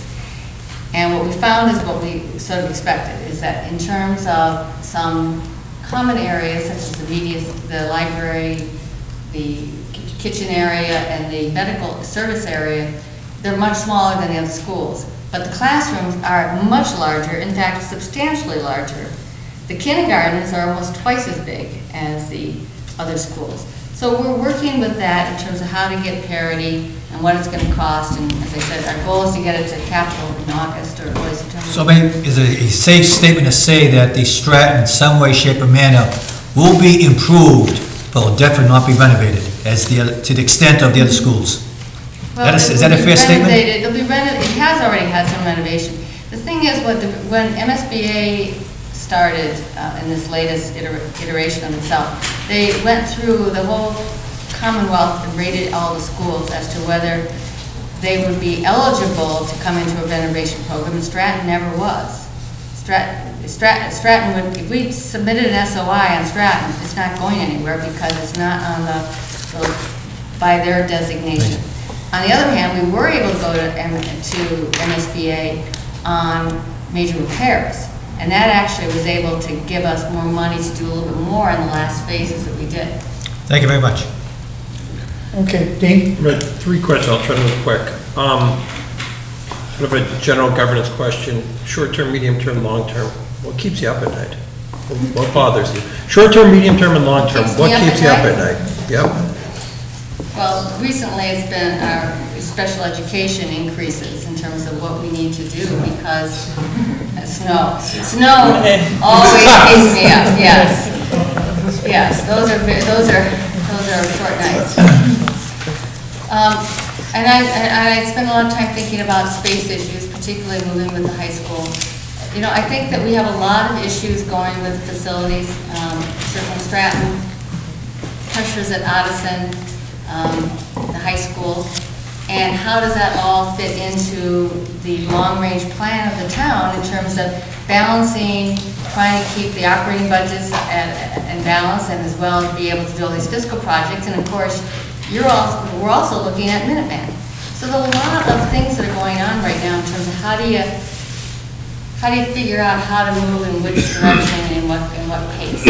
so, I- before I ask my second question, what I find to be, why I was, the reason I was smiling as you were responding is, when the town manager comes before us, um, I ask him the exact same question every time he's before us. So in our opening finance committee meeting, I asked him the question, and he gave the exact same response you gave. So it was. do talk a lot. Well, it was interesting, which leads to my second question, though, it's a nice little segue, is, um, and just to preface it, this goes back five or six years ago. I, I was very, I'll use polite words, I was very angry when, at what I felt was the unfair treatment that you, or you, or as the, stu- as being representing the superintendent of the school were getting at, sort of, at- at- through our finance committee process and through interactions with the town, because I used to hear this term, this verbiage would be we talk about the town and the school, like the school was this separate weird thing off on its own and it wasn't a problem for the town, but I don't know whose town the school belonged to, right? Um, It appears to have gotten better, right? It appears, when you look at the additional money that went into the budget, if you listen to the town manager talking about, ca- really caring deeply about Arlington High School and Minuteman and things like that, it feels like it has gotten better, but it, it- it doesn't mean anything if I feel like it's gotten better, it matters if you can't think it's gotten better.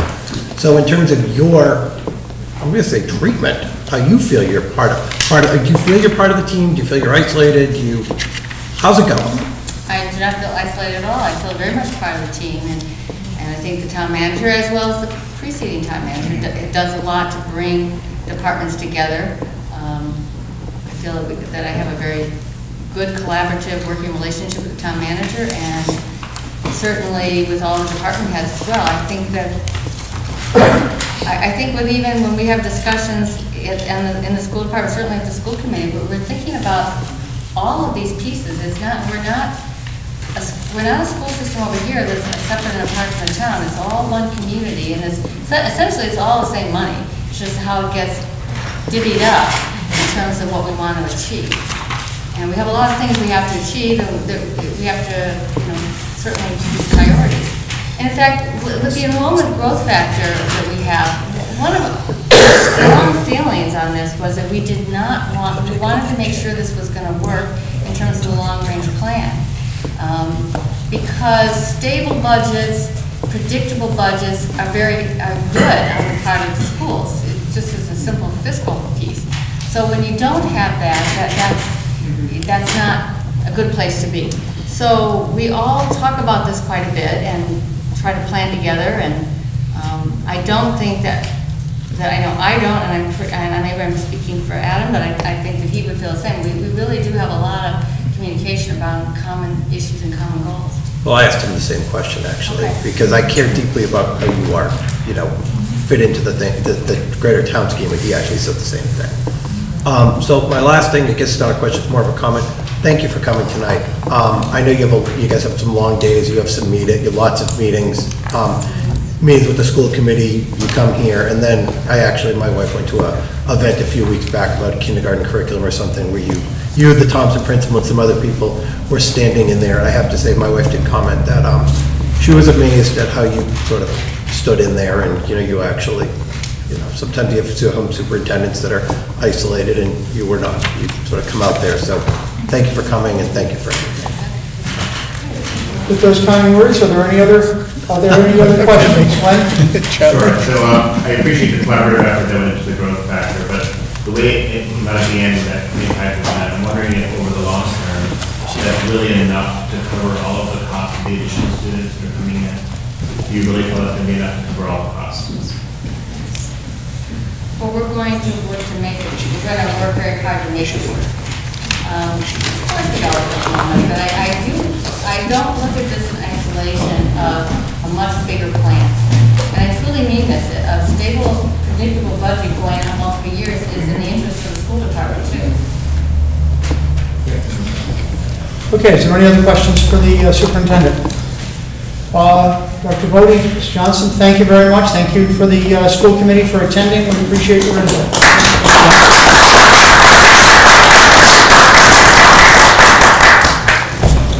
Okay, um, just to finish this uh, up, we have, not going to get through as much as I told you in the email. Uh, We've got two issues before us. One is Article 7 of the special town meeting uh, requesting a transfer of $500,000 from the stabilization fund. Now, this is the Educational Stabilization Fund for Special Ed. It was established by a transfer from the uh, school department, I think either last year or the year before. Uh, They're requesting their 500,000 back into the fiscal 14 budget uh, to help take into account special ed. Uh, Do I have a motion on that? So moved. Second? Second. Any discussion? Any questions? Paul? I have my fingers crossed, they won't need it next year. I have my fingers crossed that they won't need a similar thing next year when that account is Yes. empty. Okay, all those in favor of the transfer of $500,000 back to the school department, please say aye. Aye. Opposed? Okay, yes. Favorable action, unanimous. Okay, now, the appropriation uh, request from the town, meet- uh, from the uh, town uh, is fifty million, seven two nine, nine six eight. Uh, Is there a motion? Second? Second. Okay, any discussion? Charlie? Yes. I am uh, motivated to uh, make a recommendation, even though I strongly support the uh, growth factor increase of $885,000. Um, I noticed that the aggregate amount of money that the, uh, what I'll call the unfunded uh, tuitions amount to is, uh, according to the calculation that I worked out, is $796,587. And, and I'm strongly motivated to make a motion to um, reduce the budget by that amount. Um, But I'm going to pass on the hope that uh, we can save some money in the school department this year and use it for the special education uh, reserve fund um, for, before the end of the fiscal year. But I, I have to say that I'm continuously and extremely distressed by the lack of progress that the school department has made over addressing this huge amount of money that we are basically subsidizing uh, other communities for while we're asking the Arlington taxpayer to pay more. So um, this comment is not a motion. Is there any other discussion? Brian? Yeah, um, has anybody read the budget line by line and looked at it? Because I went through this and just looking at items, when we analyze the other budgets, we pound them over five hundred dollars, four hundred dollars, and we're looking at fifty-six million dollars. Um, I went through and highlighted items totaling somewhere between one point four and one point six million dollars, where there's items that haven't been spent in the last three years, four years, where there's item, there's amounts listed here. Now, I'm gonna say, I also understand that the school committee can spend it wherever they want, but there's items listed here and I just don't understand it.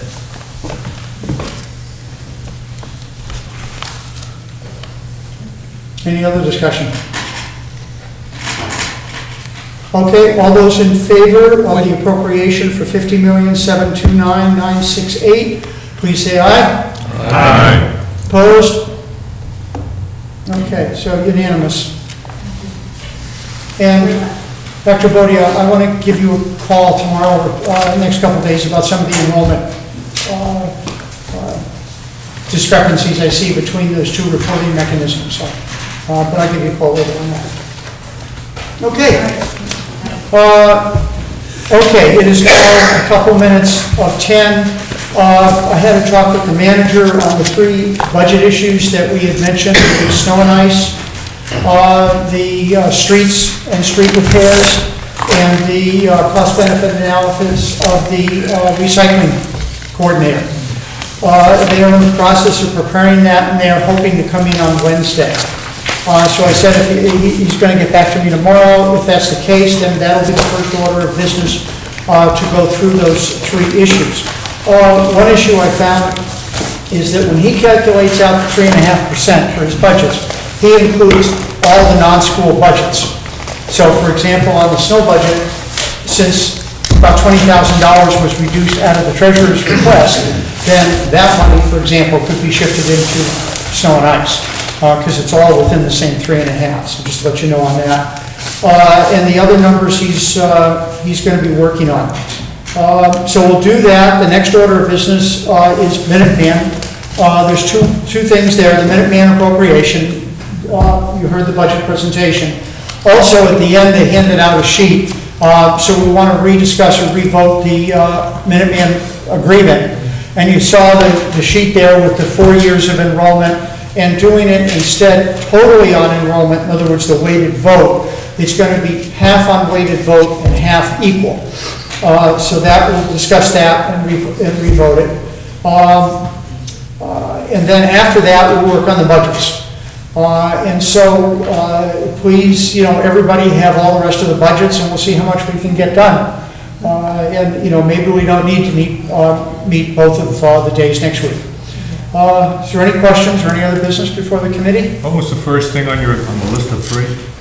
Snow and ice, recycling, and, And the uh, street oh, repairs. streets, yeah. Streets. Okay, any other questions? Meeting adjourned. I just want to make one comment. Oh, I'm sorry. I I did it. I- That budget, that special education item that, um, that Diane mentioned, and that, um, in the, in the object section, I did a four-year compound growth analysis on that budget line, which was supposedly all the costs in, in outside the district special education. And the compound growth rate is five point three percent from that, from that, uh, document. So I'm still totally confused on that budget.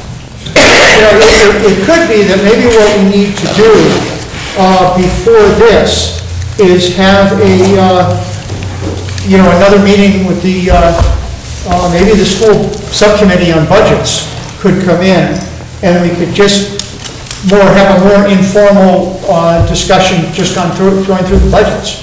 Uh, So we're, uh, you know, we have a chance to have our budgets open and, and uh, maybe, like I said, do it a little bit more informal next year. In other words, have basically an additional session on that, so, okay, any other? Okay, thank you.